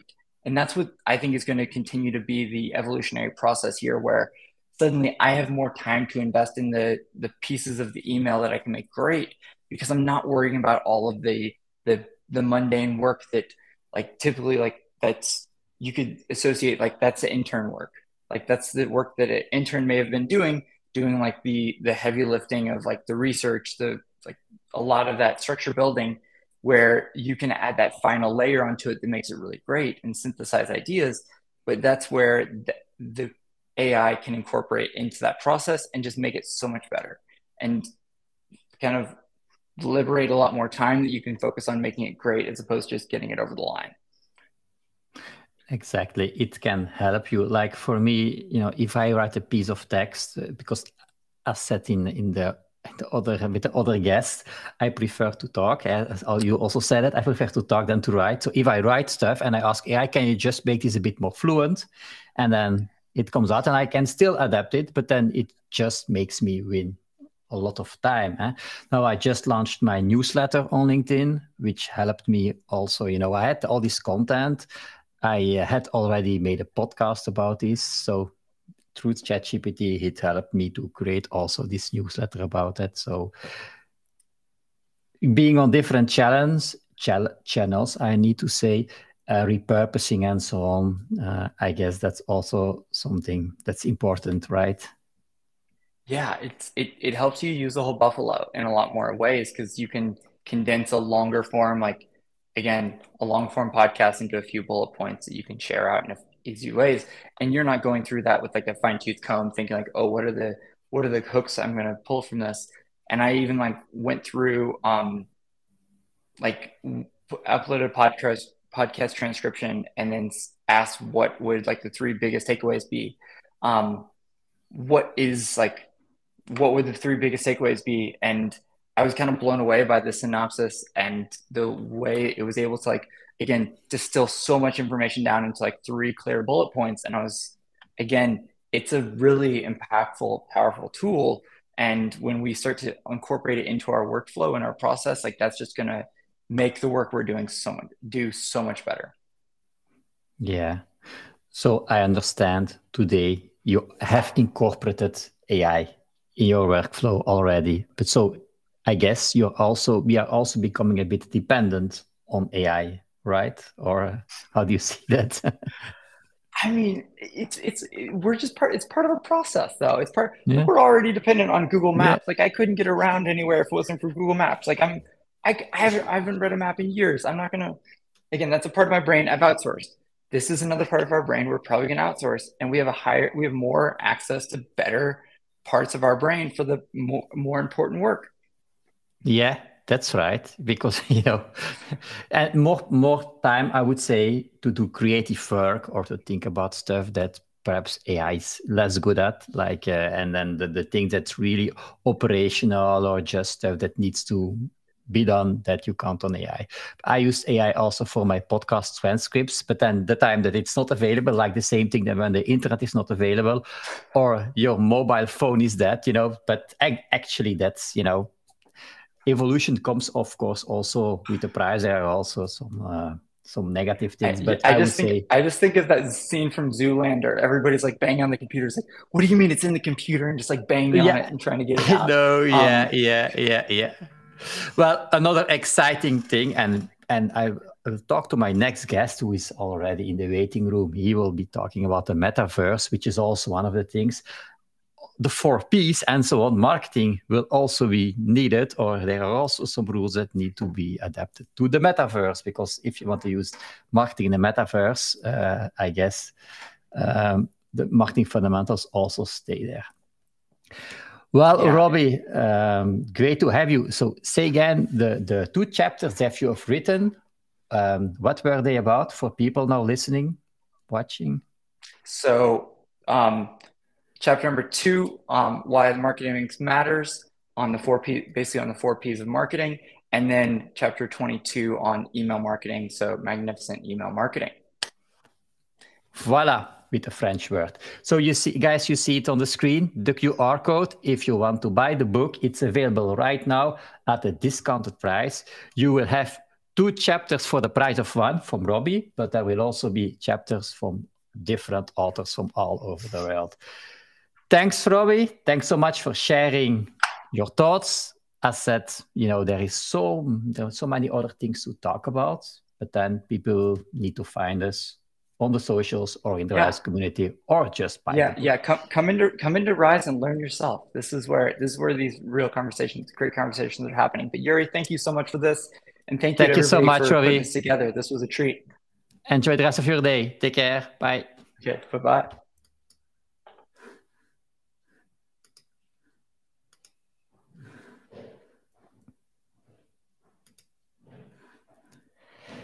And there we have our next guest. So, Brian, let me change a bit before I introduce you um, the QR code.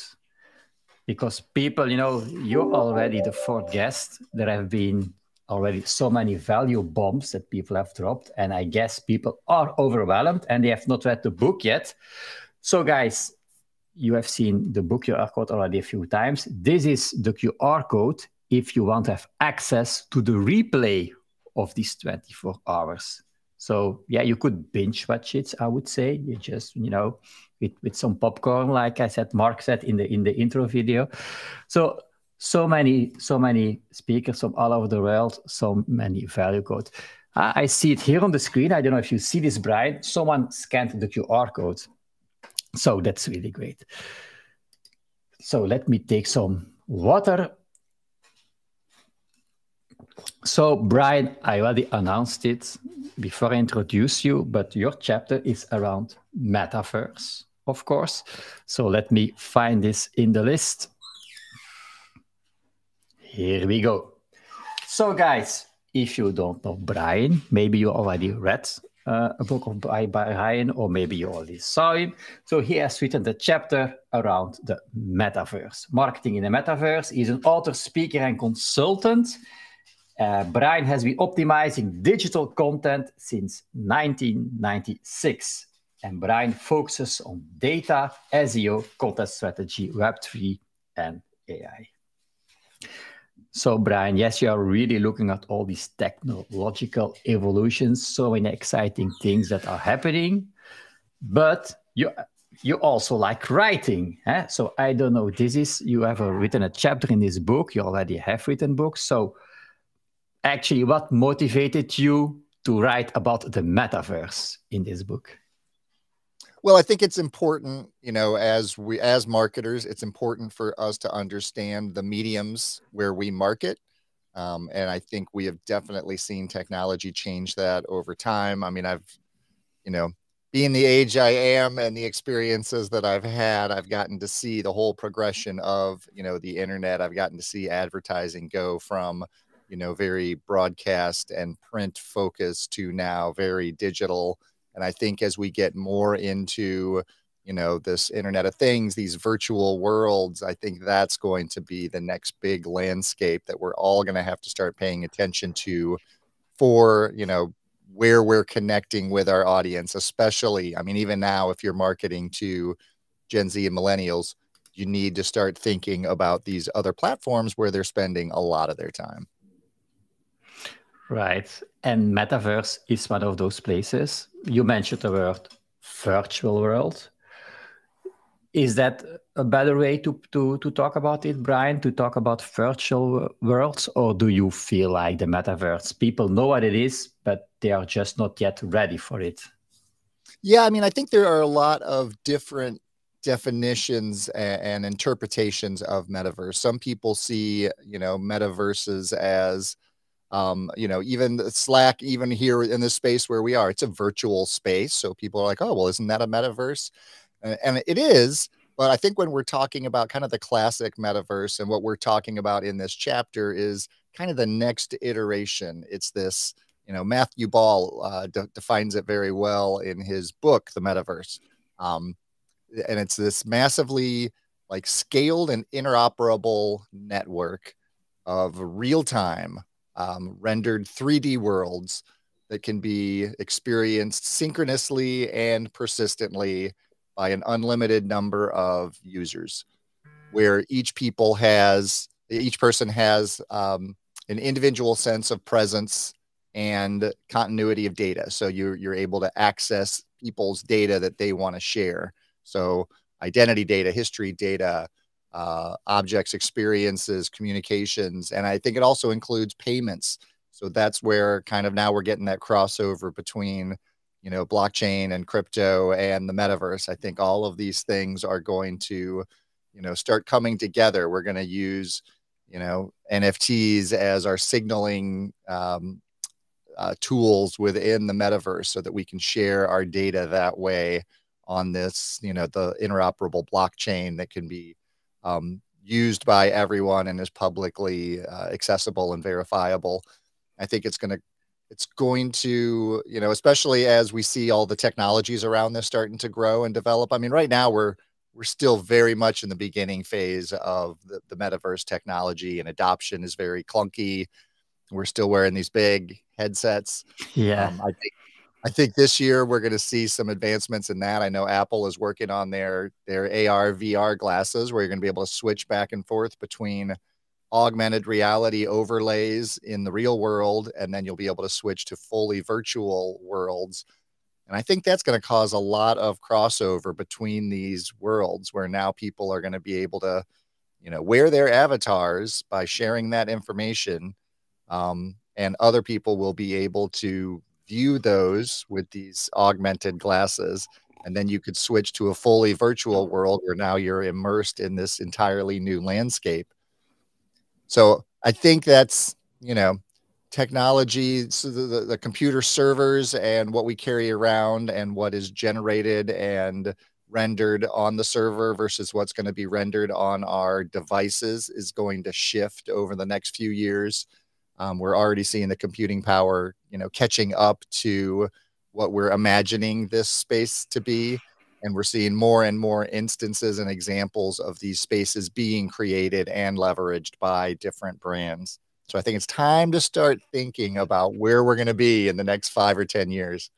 Yes, thinking about this and taking action, of course, you know, by exploring the metaverse because it's early for people. So if you want to be ahead of the game and just by knowing those people that were that were first those entrepreneurs that had a website when you know the internet came up those people that were the first on social media those people that were the first using you know their smartphone for their marketing those people that were you have an early mover advantage. Of course it's a bit more harder because people around you they will see what are you doing? Like in my mastermind there are people talking about how you know to do stuff in their metaverse restaurant or in their penthouse in the metaverse. And I, and my girlfriend she she looks at me and says what are you talking about? Is are you serious? Or my kids they are just laughing. What are you doing? Even if they're you know playing roblox. So so it's there is a kind of you know there's disbelief or there's how how do you what do you say to those people? Do you take the effort to try to explain them to convince them or because it's it's some people are just like later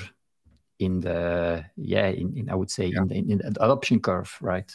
Yeah absolutely. And i think some people you know and we saw we see the same thing. We saw it with the internet. We saw it with mobile phones. We saw it with social media. There are people who will just refuse to adopt and refuse to try out these new technologies. And those those are not really the target audience for these technologies I mean, yeah, my kids are in, you know, Roblox and Fortnite, and they think nothing about coming downstairs and throwing on the headset and playing games for a couple hours or talking with their friends while they're in these, you know, gaming environments. And I think gaming, you know, that those are the largest applications right now because it's such an easy transition over. But yeah. I think we're starting to see a lot more brands looking at well, now we have all these people in this space. What can we do to get them to go somewhere else or try something else or do a new experience or buy something from us or, you know, purchase one of our skins or weapons. Right, yeah. right. I was at a fashion week, you know, in the Decentraland or space. We have already brands that are there, like Boss, that they just give away stuff or just, you know, or just sell stuff. It's it's crazy, but it's already happening there. And if the audience or the visitors in those metaverses, if there are more and more people there, the brands become more interesting to be there.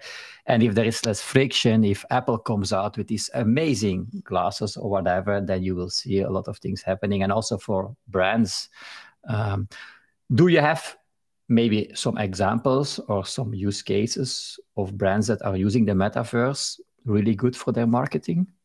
Yeah, I mean Nike is doing, you know, an amazing job. They're doing all sorts of development in metaverse platforms. They're creating these collaborative spaces where, you know, members of their metaverse can go in and design their own shoes and then based on the popularity of different designs, they may eventually start producing those that that particular brand type of shoe, that design of shoe, and then they'll be sharing some of the um, you know profits from that with the individual designers. And you know those are it's all verified it's all through the blockchain so they know whose uh, designs are for what. Um, so i think yeah nike is definitely really exploring this. They're selling virtual clothing that sometimes is selling for more than the real world alternatives. I know, yeah. But those, of course, are then B2C brands where I think it's logical for B2B, maybe people have more like more question marks. Do you also have examples or use cases for the B2B uh, market? Yeah, I mean, even eh, just looking at the way that some businesses are now holding meetings. I mean, we, we're holding meetings with our community in spatial. Uh, you know, so it's just looking for opportunities where these different brands, different companies um, are going to find ways to leverage these environments for you know whatever um, business problem they're trying to solve. There's a company that's actually creating um, virtual simulations of workspaces so that you can go in and try them out and you can have people experiment with these digital workspaces that are designed in the metaverse and walk through their normal routines and see where there are areas of friction so that they can change the design in the physical world before they actually build it. So they'll know if it's too far to go to the restrooms from where the you know uh, the the workspace is.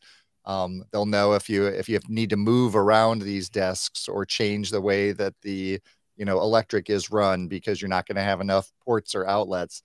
So I think there's different ways that we're starting to look at you know how these virtual spaces can be used from design standpoint but also for for marketing.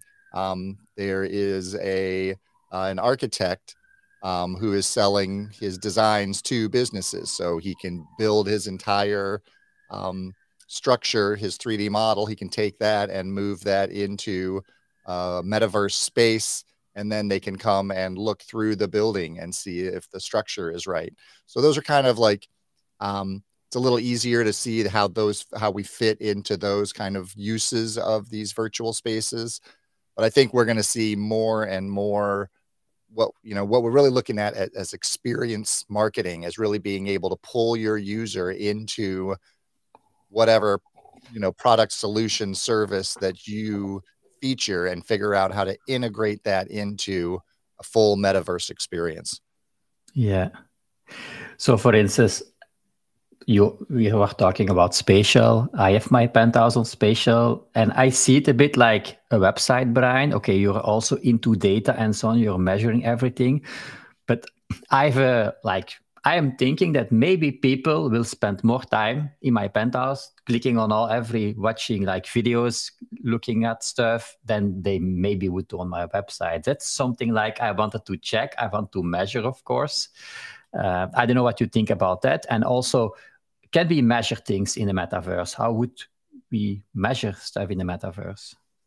Yeah, and I think we're going to see more and more uh, data being shared by these platforms, as even the platforms are trying to figure out what metrics are most valuable to, you know, I mean, obviously, for like a B2C brand, you, you can measure revenue that you're generating from these yeah. different platforms. So, what you're selling on the platform those are fairly easy things to measure. But when you start thinking about, you know, time and engagement and how much activity you're getting in your different communities, and even down to the point where, you know, you can start measuring how much time people are spending standing in front of one image or interacting with one experience.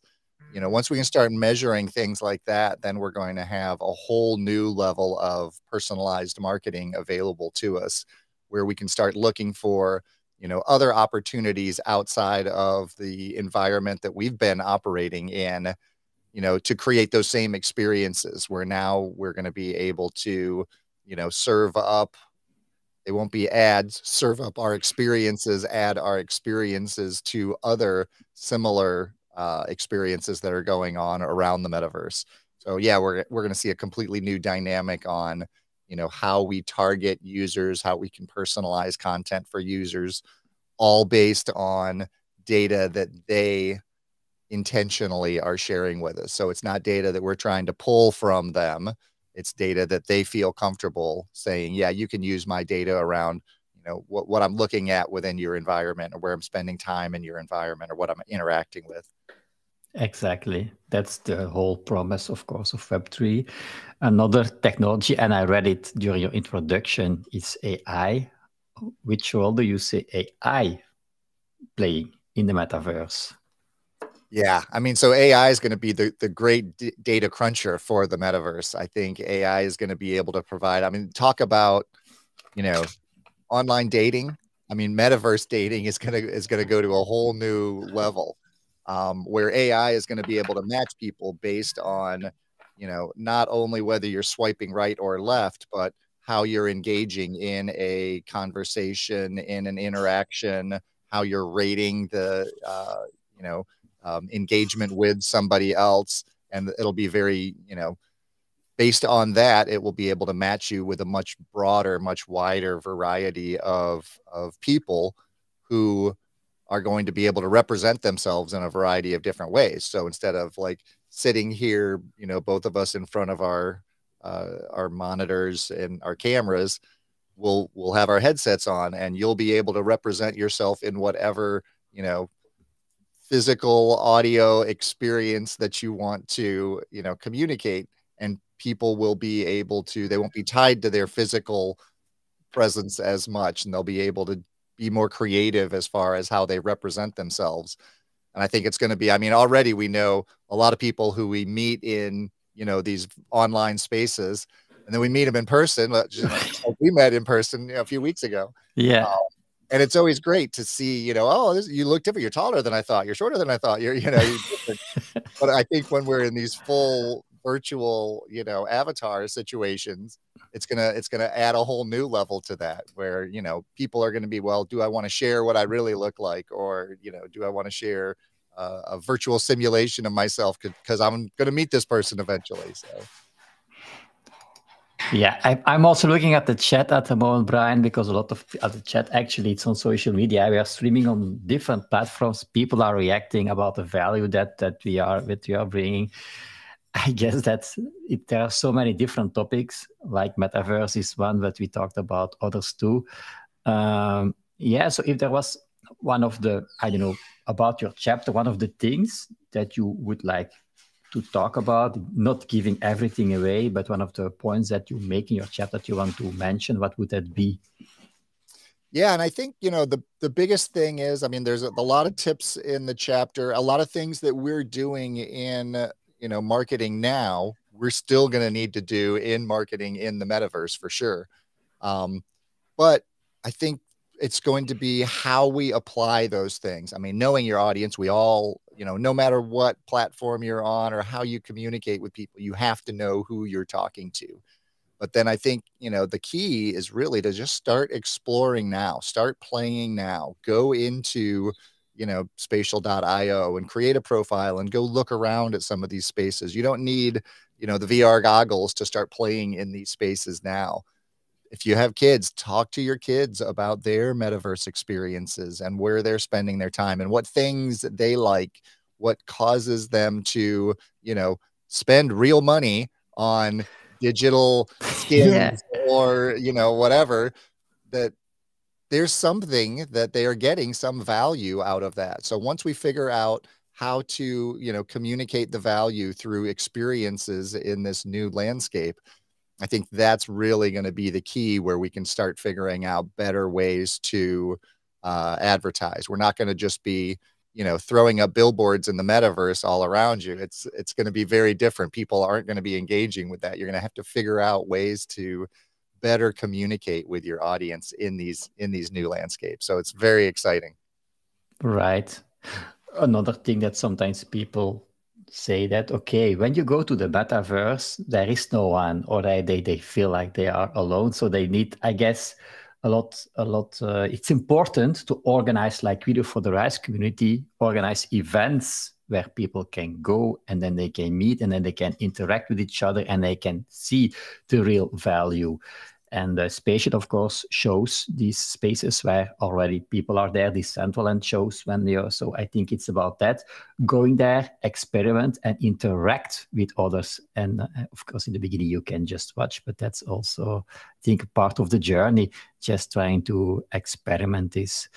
Um, if people would like wanted to start, they're like a marketer, an entrepreneur, and um, they want to start getting to know the metaverse, what do you have a tip for them? Where to go? Which one to try out first? Of what would they need to do if they want to start exploring the metaverse? Yeah, that's that's a great question, and you know, I think the key is just to to read, stay educated, look around, see what other people in your industry, other businesses like yours, other marketers are doing in these spaces. I think just paying attention and being aware is a great place to start. And then you're going to, through that, you're going to say, oh, well, this is interesting what this group is doing on this platform. Let me go over and check out that platform. I mean, I, I wouldn't have, you know, stumbled across spatial if there hadn't been people in a community getting together. I was like, oh, well, I got to go check this out because people are actually using this. Um, so, and I think, you know, as the next generation continues to get older and as the technology continues to evolve, we're going to see a lot more happening in this space very quickly. Within the next three years, I think there's going to be, you know, I mean, there are there are already big events, concerts, those sorts of things going on in these spaces. So look for opportunities to engage in things that you're already interested in that will take you into these spaces just to get an idea of what it's like. I mean, we're still very early on. I call it, you know, we're still in the modem days. For, yeah, I know. Um, but the, we know that the rate of technology advancement is uh, staggering, and we're seeing all of these advances coming along. When you're, you know, looking at quantum computing and all the processing power, the you know, we're making advances very quickly, faster than a lot of people predicted in a lot of these spaces. Um, and I think we're seeing these bigger and bigger tech players getting into these spaces because they know this is going to be like the net. They've got to figure it out now. They've got to go in and start laying the framework and the groundwork so that, you know, when people really start coming into these platforms and adoption really increases, they're going to be able to, you know, leverage their positions and and monetize. So I think it's important for us as marketers to start thinking about how our products and services could fit into these spaces. How could it fit into a game? How could it fit into, you know, a design environment? How could it fit into an experience that we can help deliver to our customer where then they can stop at any point within the experience and say, "Yep, okay, I want to purchase this. This has enough value for me. I want to I want to take part in this." Yeah like for instance the concept of digital twins where you know people can have both their shoes in the metaverse and in real life and then they know if they buy stuff okay at least get the shoes so it's not like something purely virtual but the other, other side you will have people that just want to have their avatar with nice shoes and then also want real life shoes so i think the, the aspect of digital twins there is also a lot of uh, opportunity there won't you yeah. think yeah. yeah. absolutely. And I think we're going to see, you know, as this AR, VR, um, these concepts start to mix together and mesh together more closely, I think we're going to see some really interesting applications in, um, you know, in education, in entertainment, in fashion. These are really the places where people are starting to get on and see the value of of these different uh, environments. I think once we start moving more and more into these spaces and seeing real positive applications around these different ways to learn where instead of sitting you know um, you know in, in an astronomy class and having the teacher lecture to you you could be sitting in the middle of the galaxy uh, you know with planets zooming in and out and you'd be much more immersive um, uh, complete experiences. And i think it's just getting that mind shift to start looking for these opportunities and start seeing these possibilities. And you can only do that if you're if you're exploring Exactly. It's the mindset, of course. You can look, you know, with a closed mindset and just, you know, be, you know, just following all the rest, or you can be like most marketers are, I guess, looking at what are the possibilities they want to learn, they want to find out, and just, just try it and see what are the possibilities. Um, and also by joining a community, that can help and just motivating each other and and learning and doing stuff together in a safe place i would say brian because some people can just be a bit mm, you know scared from who what is this? How do i get in? What will happen? Like you know when you got their first i would say computer or their first smartphone or their first uh, the people are a bit so uh, i think that helps doing stuff together. And as you mentioned education also you know part of the education could take place like in the metaverse like people don't need to move and there, there are lots of different use cases. Um, i know we had an event in the metaverse the other day and you are we were talking about those different metaverses and you are mentioning also a metaverse about education right? So uh, yeah.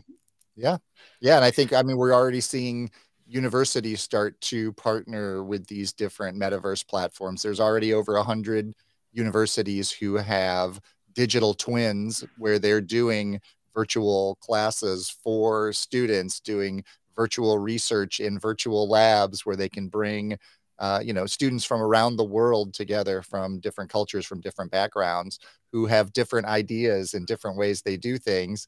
They can come communicate and gather and and collaborate in these metaverse spaces.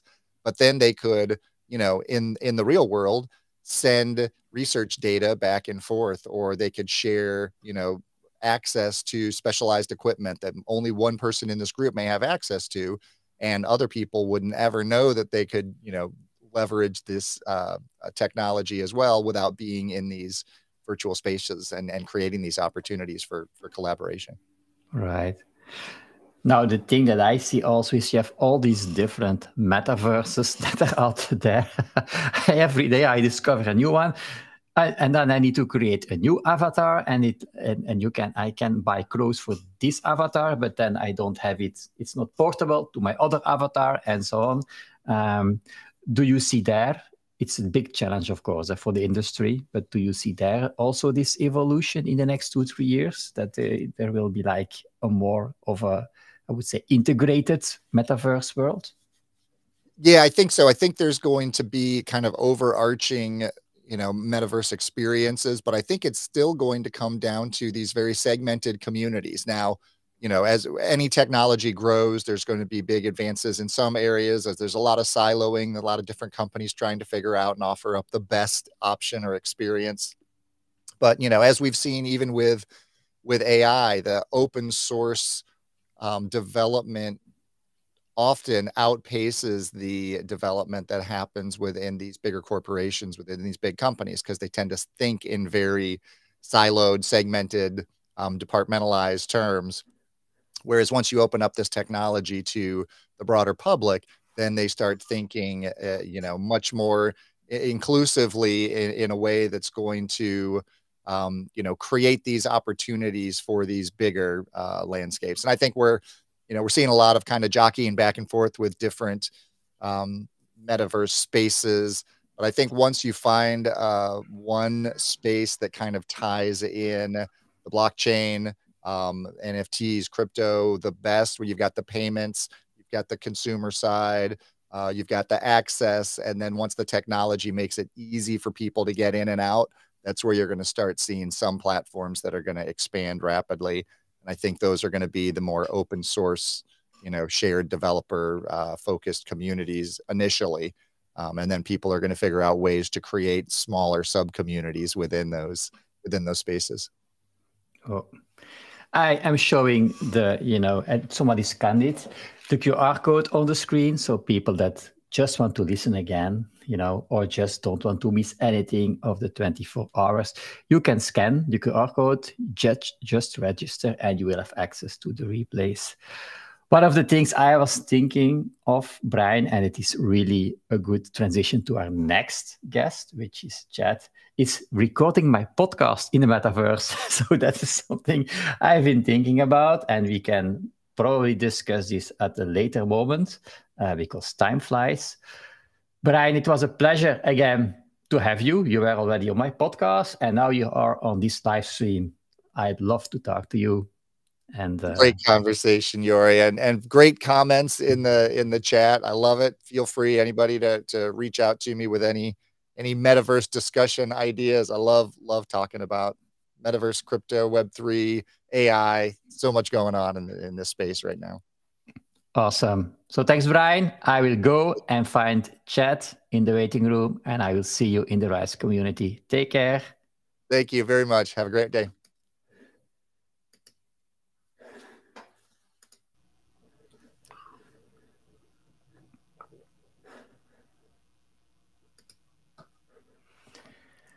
Hi, Chad. How are you? Hello. Good morning. How's it going? It's going well. You know, you are the fifth guest. I'm still in this. I, I was afraid, will I still have the same energy? But you know, it just it just flowing. All these comments on the chat. Um, it's it's amazing. I was already mentioning you, Chad, uh, because I was talking to Brian about the metaverse. You're obviously already podcasting. But guys, let me first introduce Chad to you if you don't know Chad. He's also, of course, an author. And let me find your chapter. You have chapter 10, The Power of Podcasting. I love podcasting too, as you know. So, guys, who is Chad? Chad Parizman. I hope I pronounced your name the right way. Perfect. Okay, he's the principal and founder of Aider Communications, a consultancy focused on helping brands elevate their audio storytelling.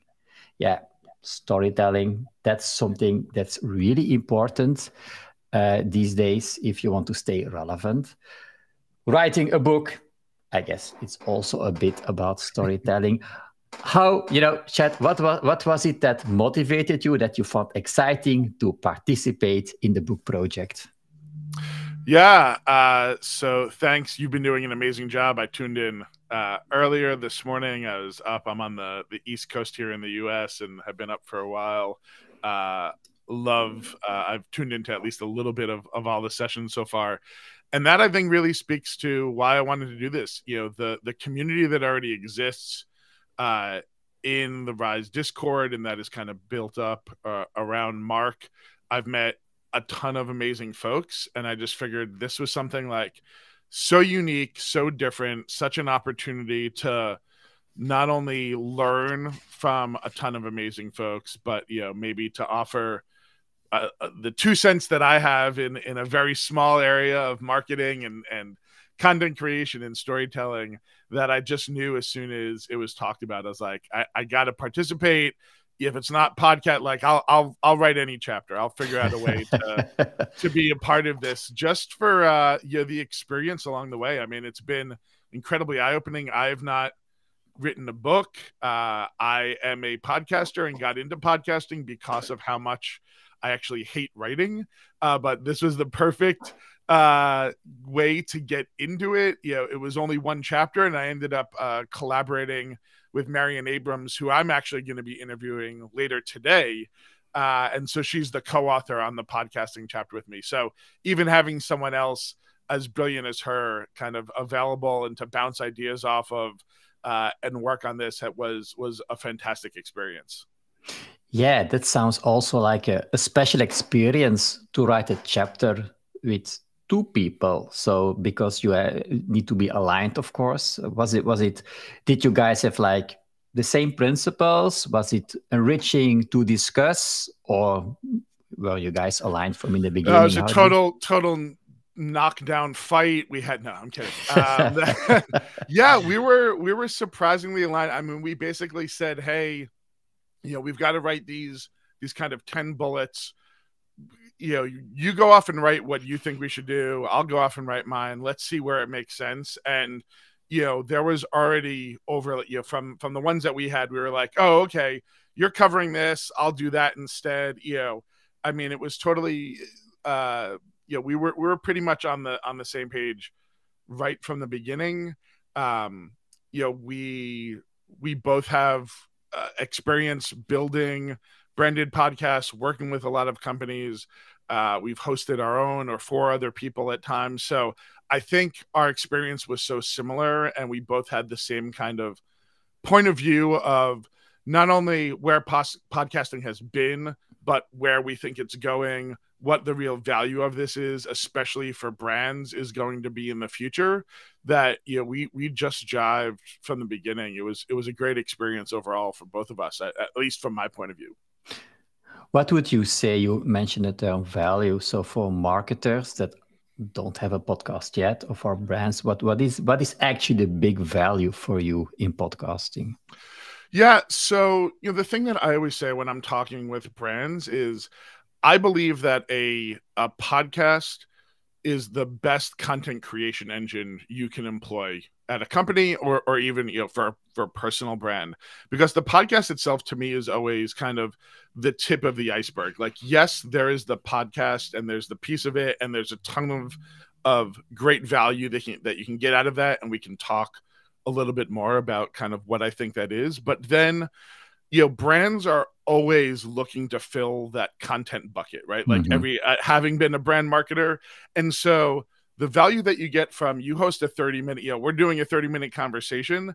If we wanted to right the amount of pieces of content we can take from quote cards from highlights from caption videos from individual audio files right turning that into we could probably write three blog posts just from our one conversation here. I mean there's nothing that I think offers as much flexibility as a podcast. So for brands that are always looking to create more content, it's like, yes, you can go off and write another article or update another web page, but the the core one of the biggest values and the core of podcasting that I think is just um it, it just the value and the return on investment from a podcast is like no other type of content that that I've seen as a brand marketer.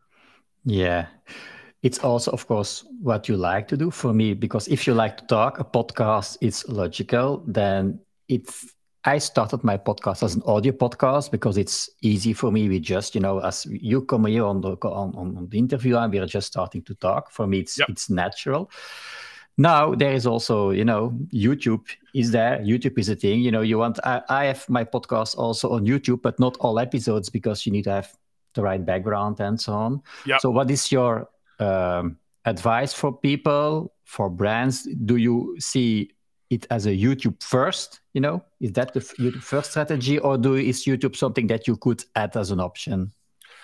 I, I still think of it for most folks and especially for brands i still think of it as an option. You know i i i come at it from two minds. I don't you know for what we're doing right now i personally do not enjoy just watching two people yeah. talk to talk to each other, right? That that's just a personal thing. However, I can't ignore the fact that the amount of content being consumed, the number of podcasts that are being consumed, right? Like it is a powerful engine, right? It's the number two search engine behind Google.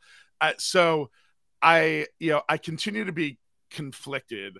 I continue. I also continue to tell, especially my brand clients, um, if we can layer on video in season two and season three, you know, if we wanted to eventually be there, but the thing that I think you know the value of podcasting is especially if you're doing something where you're talking with executives or you're trying to coordinate with folks around the world, right? That's that's the biggest value that I see in a lot of these tools that have popped up over, especially over the past couple of years like we're using today.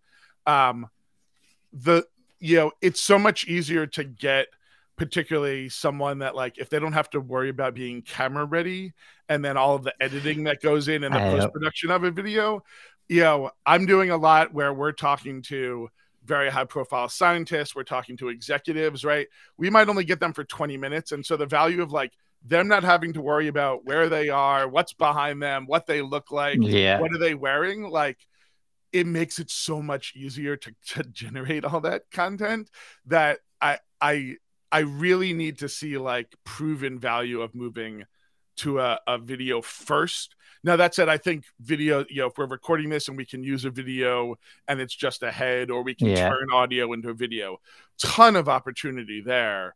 Um, so uh, you know, I but that said, I I know that there are there are some brands, but there are mostly content creators out there that are just killing it in the video first space where their YouTube numbers are just crushing it compared to you know what they're getting in in in audio only and so you know i think it's it like so many of these things it, it depends you know if there's a real value and there's if there's a reason to be on camera, um, then then I say go for it again because the tools have just gotten so much easier to be able to do this as well. Yeah, yeah. For me, it was just like another channel for my show. You know, to be there, to be present there, because some people, I for me, my Apple Podcast, I see its main channel also on my podcast website.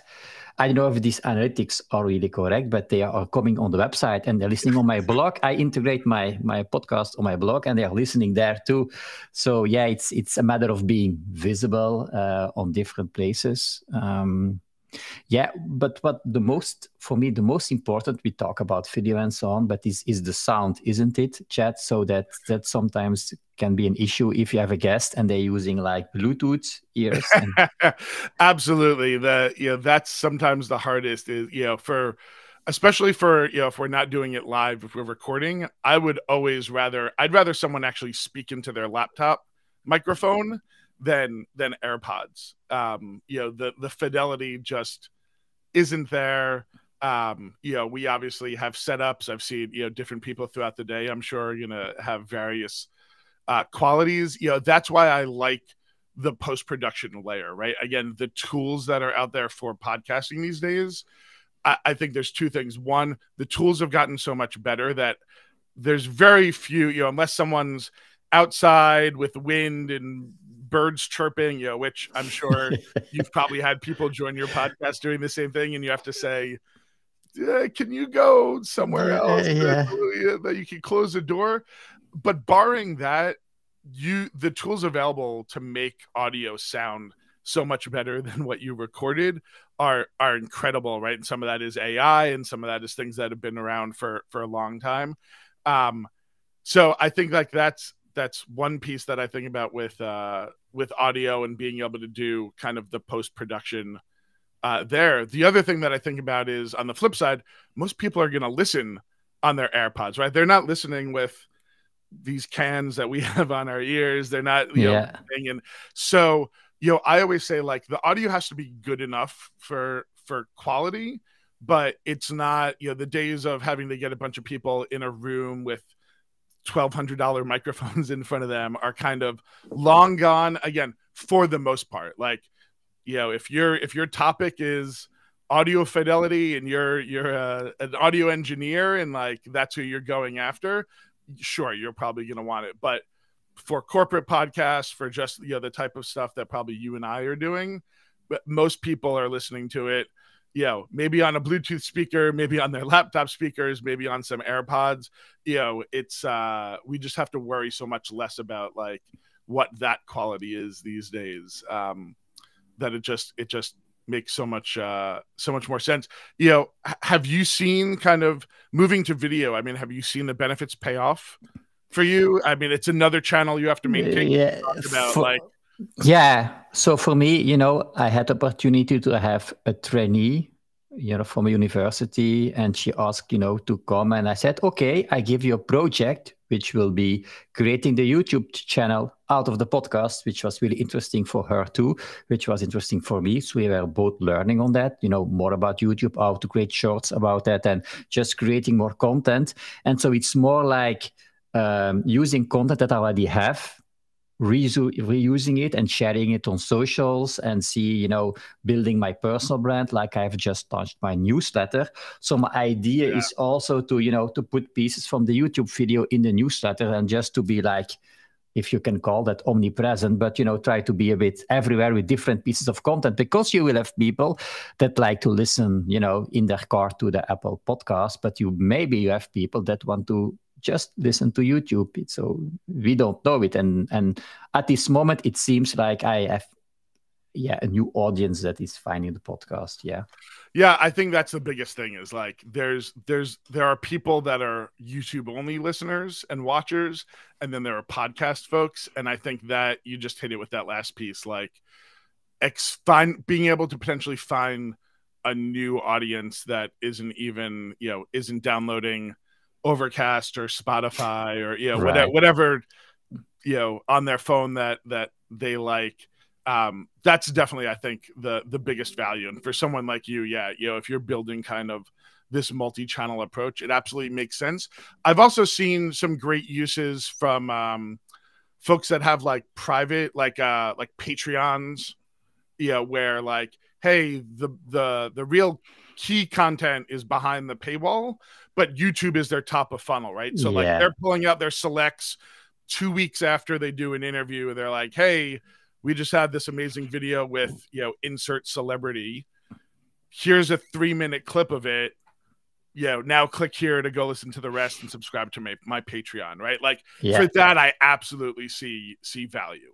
Right, and it's also you know for search, it's good at just to be on YouTube and and, and if people find out, or you can just take a piece of it and so that people see who you are and then they can listen to the podcast.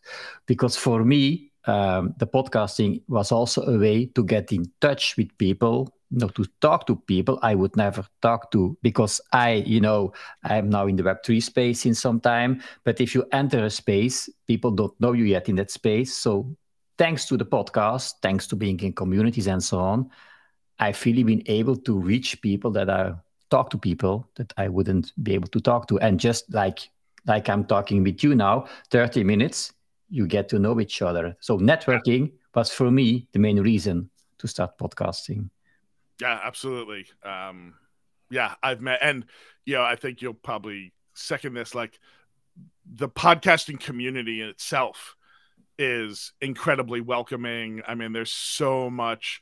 You know, when people always ask me like, "How do I, you know?" I'm thinking about getting into it. What do I do? And it's like, there's so many great newsletters. There's so many. You know, once you, it's it's a rabbit hole of content, but like so many people are willing to share their expertise and time and kind of you know what they've learned right and that's everything from like folks that started doing it a year or two ago all the way to you know there's people that have been in it for 15 20 you know early days of podcasting and they've still got newsletters they've got youtube channels they've got podcasts about podcasting going on you know, and i've i've just found it such an incredibly welcoming community for the folks that want to kind of put the work in to learn. There's there's no lack of resources that are out there. Right. And for people hesitating to start their podcast because of course it's a lot of work and there you know you need to first invest time and effort to be better and you know at a certain moment to be able to monetize it or to get some roi on that. Um, so what are your thoughts on that? For brands of course they have their budget but smaller creators entrepreneurs uh, how much patience do they need to have or what are ways that they can you know expect to monetize their podcast yeah so I, i'll i'll kind of take that into two things. One whether you're a brand or a creator i think you have to have something unique to say that you have some type of expertise in right? When i talk with brands it's the same thing like you know it can't just be like oh we're gonna have you know executives talking to executives about executive thing right? Like yeah. there's a lot of there's a lot of folks that want to do things like that and it's like well but what's the value like what are you as a, you know the global president of you know toy making right whatever it is um and your company like what's the unique perspective that you have because that's the only reason someone's actually gonna listen yeah. and pay attention right so like there, there's got to be some kind of hook um and the same thing with the person, right? Like I, I would never um, deter someone from starting a podcast. I think you know everything that you've talked about, right? Meeting people, get becoming known. Like there's a ton of uh, uh, there's a ton of upside for creating that for both brands and creators but like everything I, you need to put the work in up front right like you really need to think about and that's what we talk about in our chapter in the book like here's all the questions you should think about and the the right and those questions are not what microphone do I need to buy? What software do I need to use? What what headphones? Right, like like that is not the questions you should be thinking about. The questions you should be thinking about are what what's what uniqueness do I bring to the table? What's the problem that I really want to solve? What are we passionate about? What do we do that's better than anybody else? Right? If you're, I mean, I'm working with companies, everything from two to three year old startups to hundred plus year old organizations, right? And it's like, you know, if you're brand new, why did you start this business? What are you doing different than your competitor? If you're 100 years old, like you did something right along the way. What are you doing right right now that's enabled you to be a 100 year old brand?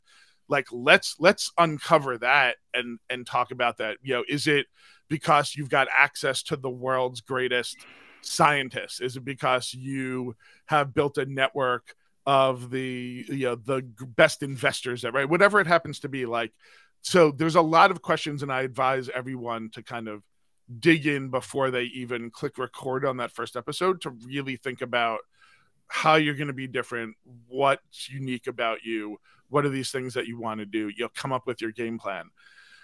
On the on the kind of monetizing i mean this is a why i love working with brands right because i'm not running pre-roll i'm not like the the brands that i'm working with want to tell a story so i'm talking to like marketing and comms teams right so they want something to go along with a campaign or they want to talk about a specific initiative or right like they're they've got some unique type of access so i'm lucky enough that like and they kind of purposefully I don't really have to worry about that kind of with on the on the branded side, right? Like the content is is the value for them. But we do do advertising, you know, on other podcasts to to drive it. So I know some of that that world more from kind of the buyer perspective. I would tell an individual creator, you know, for right now, you should not be getting into podcasting because you think it's going to be a path to making money, right? Yeah. I think there's a lot of other values you know i think every you should be starting you know it should be part of a holistic approach right? There's other content that you need to be creating. And i think when you get to that level of okay i've got a hundred listener you know i'm getting a hundred downloads per episode and i've got 2500 subscribers to my email and i've got 3000 followers on like right? Like the the bundle of stuff is kind of what's going to con- continue to kind of unlock value for you and growing all of that holistically. Um, I think it also opens a ton of, I think um, from what I've seen, you are likely to make money. You're more likely to make money actually from doing something completely different because a brand or someone finds you because of your podcast than actually the sponsorship of your podcast, right? There, someone's going to hire you to come be a keynote speaker or to come host a uh, a panel somewhere or hey can you host a podcast for me brand you know on top of it? Um, right can you come do a consulting gig for me? Like that's where at least the folks the folks that i know and I, everyone has a very different experience. I think you are more likely to kind of all those ancillary things you know you're that's more likely to generate some revenue than actually like getting a sponsor for your for your podcast uh, itself and it's just going to take time to get that done.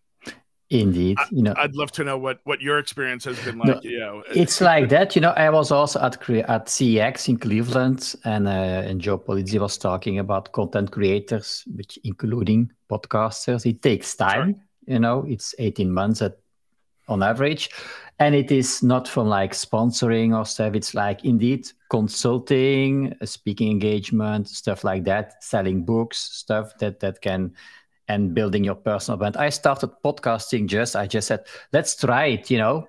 I'm not a native English speaker, but just you know, try and see how it goes. And then it there was so it was an interesting evolution, and you learn and you get to know people. And it was just because I like to do that. And then I was just thinking, okay, I need to, uh, like you said, create content in one way or another. So I, I make the content that I like to do. Another thing is I also like to try out stuff. So I'm wondering how you see that, like with these new technologies like AI and Web3. There are a few more possibilities. Are you staying with the, I would say, the traditional way of working with those bigger brands or other clients, or are you trying out or thinking of trying out, you know, um, AI or even what, what I'm thinking of, recording a podcast in the metaverse. I'm curious to hear your thoughts about that.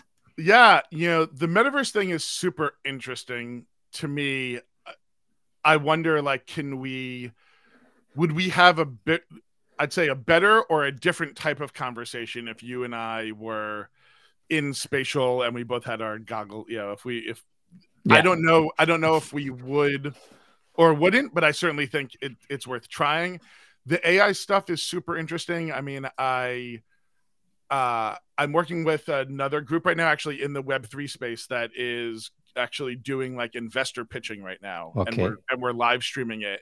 And we had uh, a group the other day that it was very clearly uh it was an avatar right they did kind of that loom style right the small video in the corner while going through their slides. It was an avatar. It was it was not an actual person.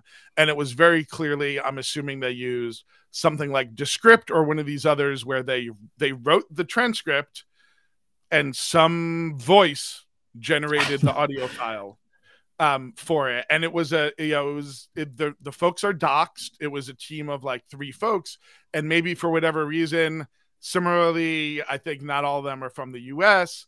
Maybe they're worried about their act. I don't know. I, would love to actually talk to them and find out why. But I was yeah. like, oh, for the first thirty seconds, I was like, this is weird, and then the longer it went on, I was like, this is actually better than some people's presentation. Like, th- yeah, this is this is probably kind of middle of the road. Like, it, I thought it was yeah. good enough for where we are. So another year or two from now, if you can actually like write that transcript, but then start putting, you know, bolding things for emphasis, or you know, hey, I want my question to be the last five seconds of it, right? Like, if you can start doing things like that that make it a little bit more natural, um, it it's gonna be like I mean off the charts of like what we're gonna be able to do. So yeah, I mean I'm playing around with as much of this stuff as I can. Again, you know, the way for me I, would like to look at it, like I'm working with big brands and a and a couple of clients um that really pay the bills, and then that lets me kind of you know go off and kind of do so you know i'm working with this web3 group like i you know i i, I you know i'm i'm interested like I'm interested to see what the Apple thing is going to be, you know, next yeah. month, right? Like, there's so much stuff coming out that for me, the the hard part ends up being like, I can't. How do I not blow a whole day like just playing around with you know the the latest and greatest when I have you know uh, a a bunch of stuff that uh, is due to clients or editing for other projects or things like that. So uh, you know, I think that's the hard part with uh, is finding that balance with a lot of these new things. I don't know if you're uncovering the same thing. It's like for you lose three hours all of a sudden. yeah, it's just you know because it's different if you do this for a client or for a brand. You know, you want to get the work done. If it's for yourself. You can say, okay, I will just try it, and and and so I try to use AI you know to to get better results or make things go faster not to do the work for me i want really to to keep the creative work. As you know, I use the AI to create you know the podcast articles, the show notes for my podcast, and so on. That's, that that's huge. Helps. I mean, and that's that. All that is like six months old, but I mean, there are there are three companies out there that I'm seeing right now, um, and it's like every week they're doing releases where like this one does this and this one adds it, and then the, I mean, so yeah, the the AI kind of the, the ability to summarize and create content from audio like through through AI is insane. And that's not it right? Like when we started writing this book none of those companies existed. Or if they did they were in like super yeah. beta right? Like so yeah if you were to talk to me today i mean you know the we we could rewrite the next book that's just let's do all the same chapters but let's just talk about the impact that ai is having on every yeah. one of those same topics right? Like that that we we could do a whole series around that I know. So it would be like when we look back, you know, when we start writing the book and so on, so many things have changed with AI, with like in, in also in the Web3 world and so on. So it's really challenging. Um, so yeah, we can already think of our next oh, book Chad. Yeah. or making I know we have also a podcast for our community, which is which you are running with a few others. I also want to take part of it when I can. And this is done on Discord. So there are different places where you can record podcasts, of course, these days. Um, so guys, um, yeah, Chad will also be later today. You will yeah. be back as a host, right, Chad? Come back in uh, what is it? Uh, seven and a half hours. Uh, oh no, sorry. What do we? Uh, I start at six p.m. So nine and a half hours from now. Uh, yeah, I'll be uh, I'll be hosting a bunch of folks this afternoon.